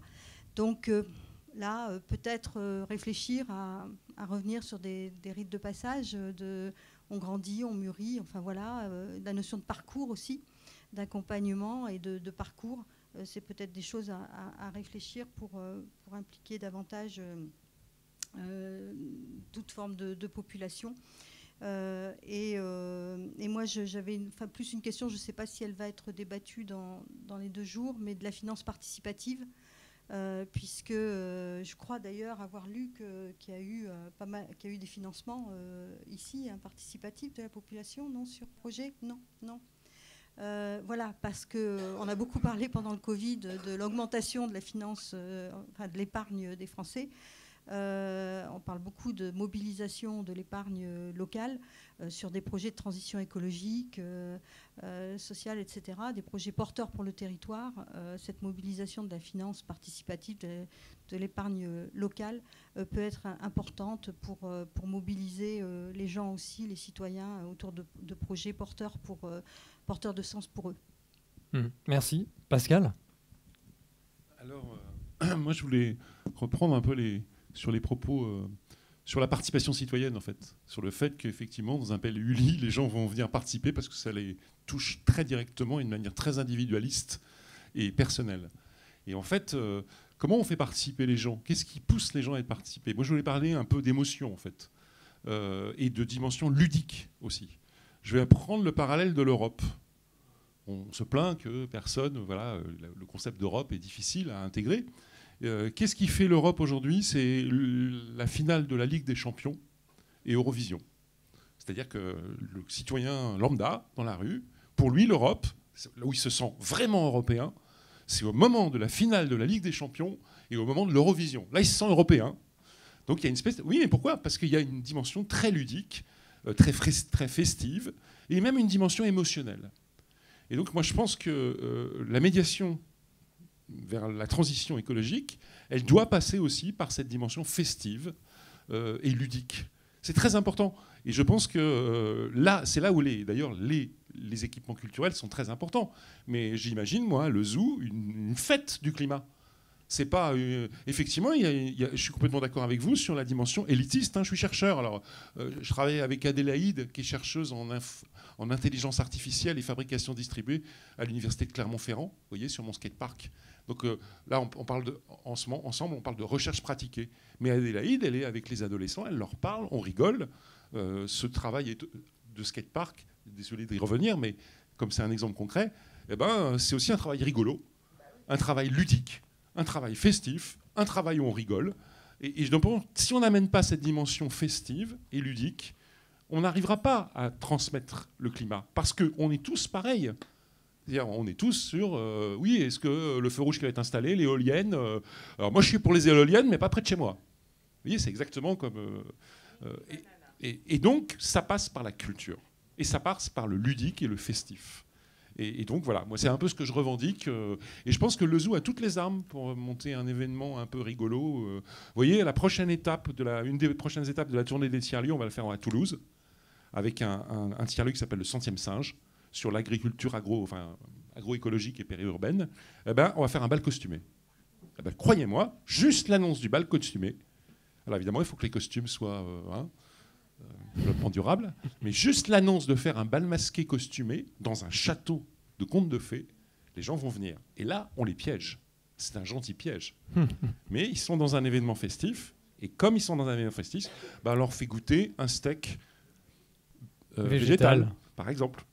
Euh, et c'est là où les entrepreneurs peuvent être là pour aller hop donner. euh, voilà, enfin j'arrête parce que sinon c'est on est pour trois heures. Merci, au revoir, à bientôt. Merci Pascal. Alors quand même la conclusion à notre Oui, Jean-Christophe. voilà, à la personne qui quand même nous accueille et moi quelqu'un que je respecte beaucoup parce qu'il fait les choses. Il ne fait pas qu'en parler comme moi. Un peu compliqué de conclure. Euh, moi, je dirais simplement peut-être que la participation ne se décrète pas, ne s'impose pas. Elle se vit, effectivement. Euh, la particularité de cet établissement, c'est qu'elle a ouvert largement ses portes, que la collectivité a accepté que la médiathèque ouvre ses portes. Comme je vous le disais tout à l'heure, qu'elle accepte que l'extérieur puisse venir enrichir l'intérieur. Euh, je pense que l'exemple d'aujourd'hui euh, est très important parce que si les gens ne participent pas, c'est parce que je pense qu'il y a des sujets qui sont confisqués. Donc mettre sur la table un sujet comme le fait la collectivité tout de suite, la question du PLUI, euh, la mettre à, là, à disposition sur une table demain matin pendant deux jours et après pendant deux ans, trois ans, parce que le projet est long, de venir que des élus, que des techniciens se déplacent régulièrement, en continuité, viennent poser en mairie, lors de- de- d'espaces de, discussion comme celui qu'on a créé aujourd'hui, des espaces de partage où on va échanger autrement.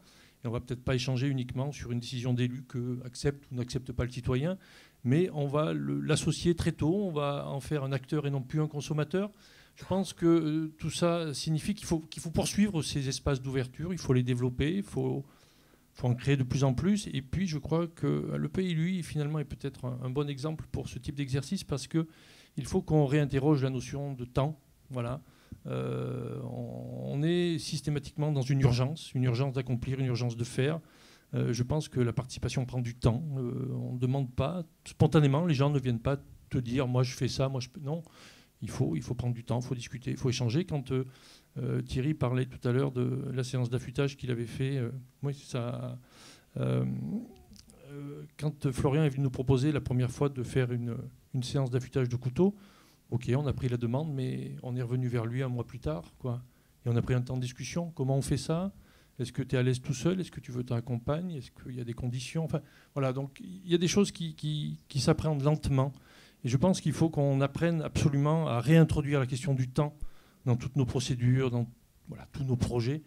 Euh, et je pense que euh, peut-être qu'à ce moment-là, on, on appréhendera autrement les enjeux qui sont les nôtres tout de suite, et notamment la question de la transition énergétique et euh, la transition écologique. Voilà. Et alors, pour finir, le dernier mot, et je parle peut-être là au nom de la collectivité, vous êtes invité au traditionnel pot de l'amitié sur le parvis de la médiathèque, qui est une chose aussi très importante et qu'il C'est me convient de ne pas oublier. Le début de la festivité. Merci. Ah,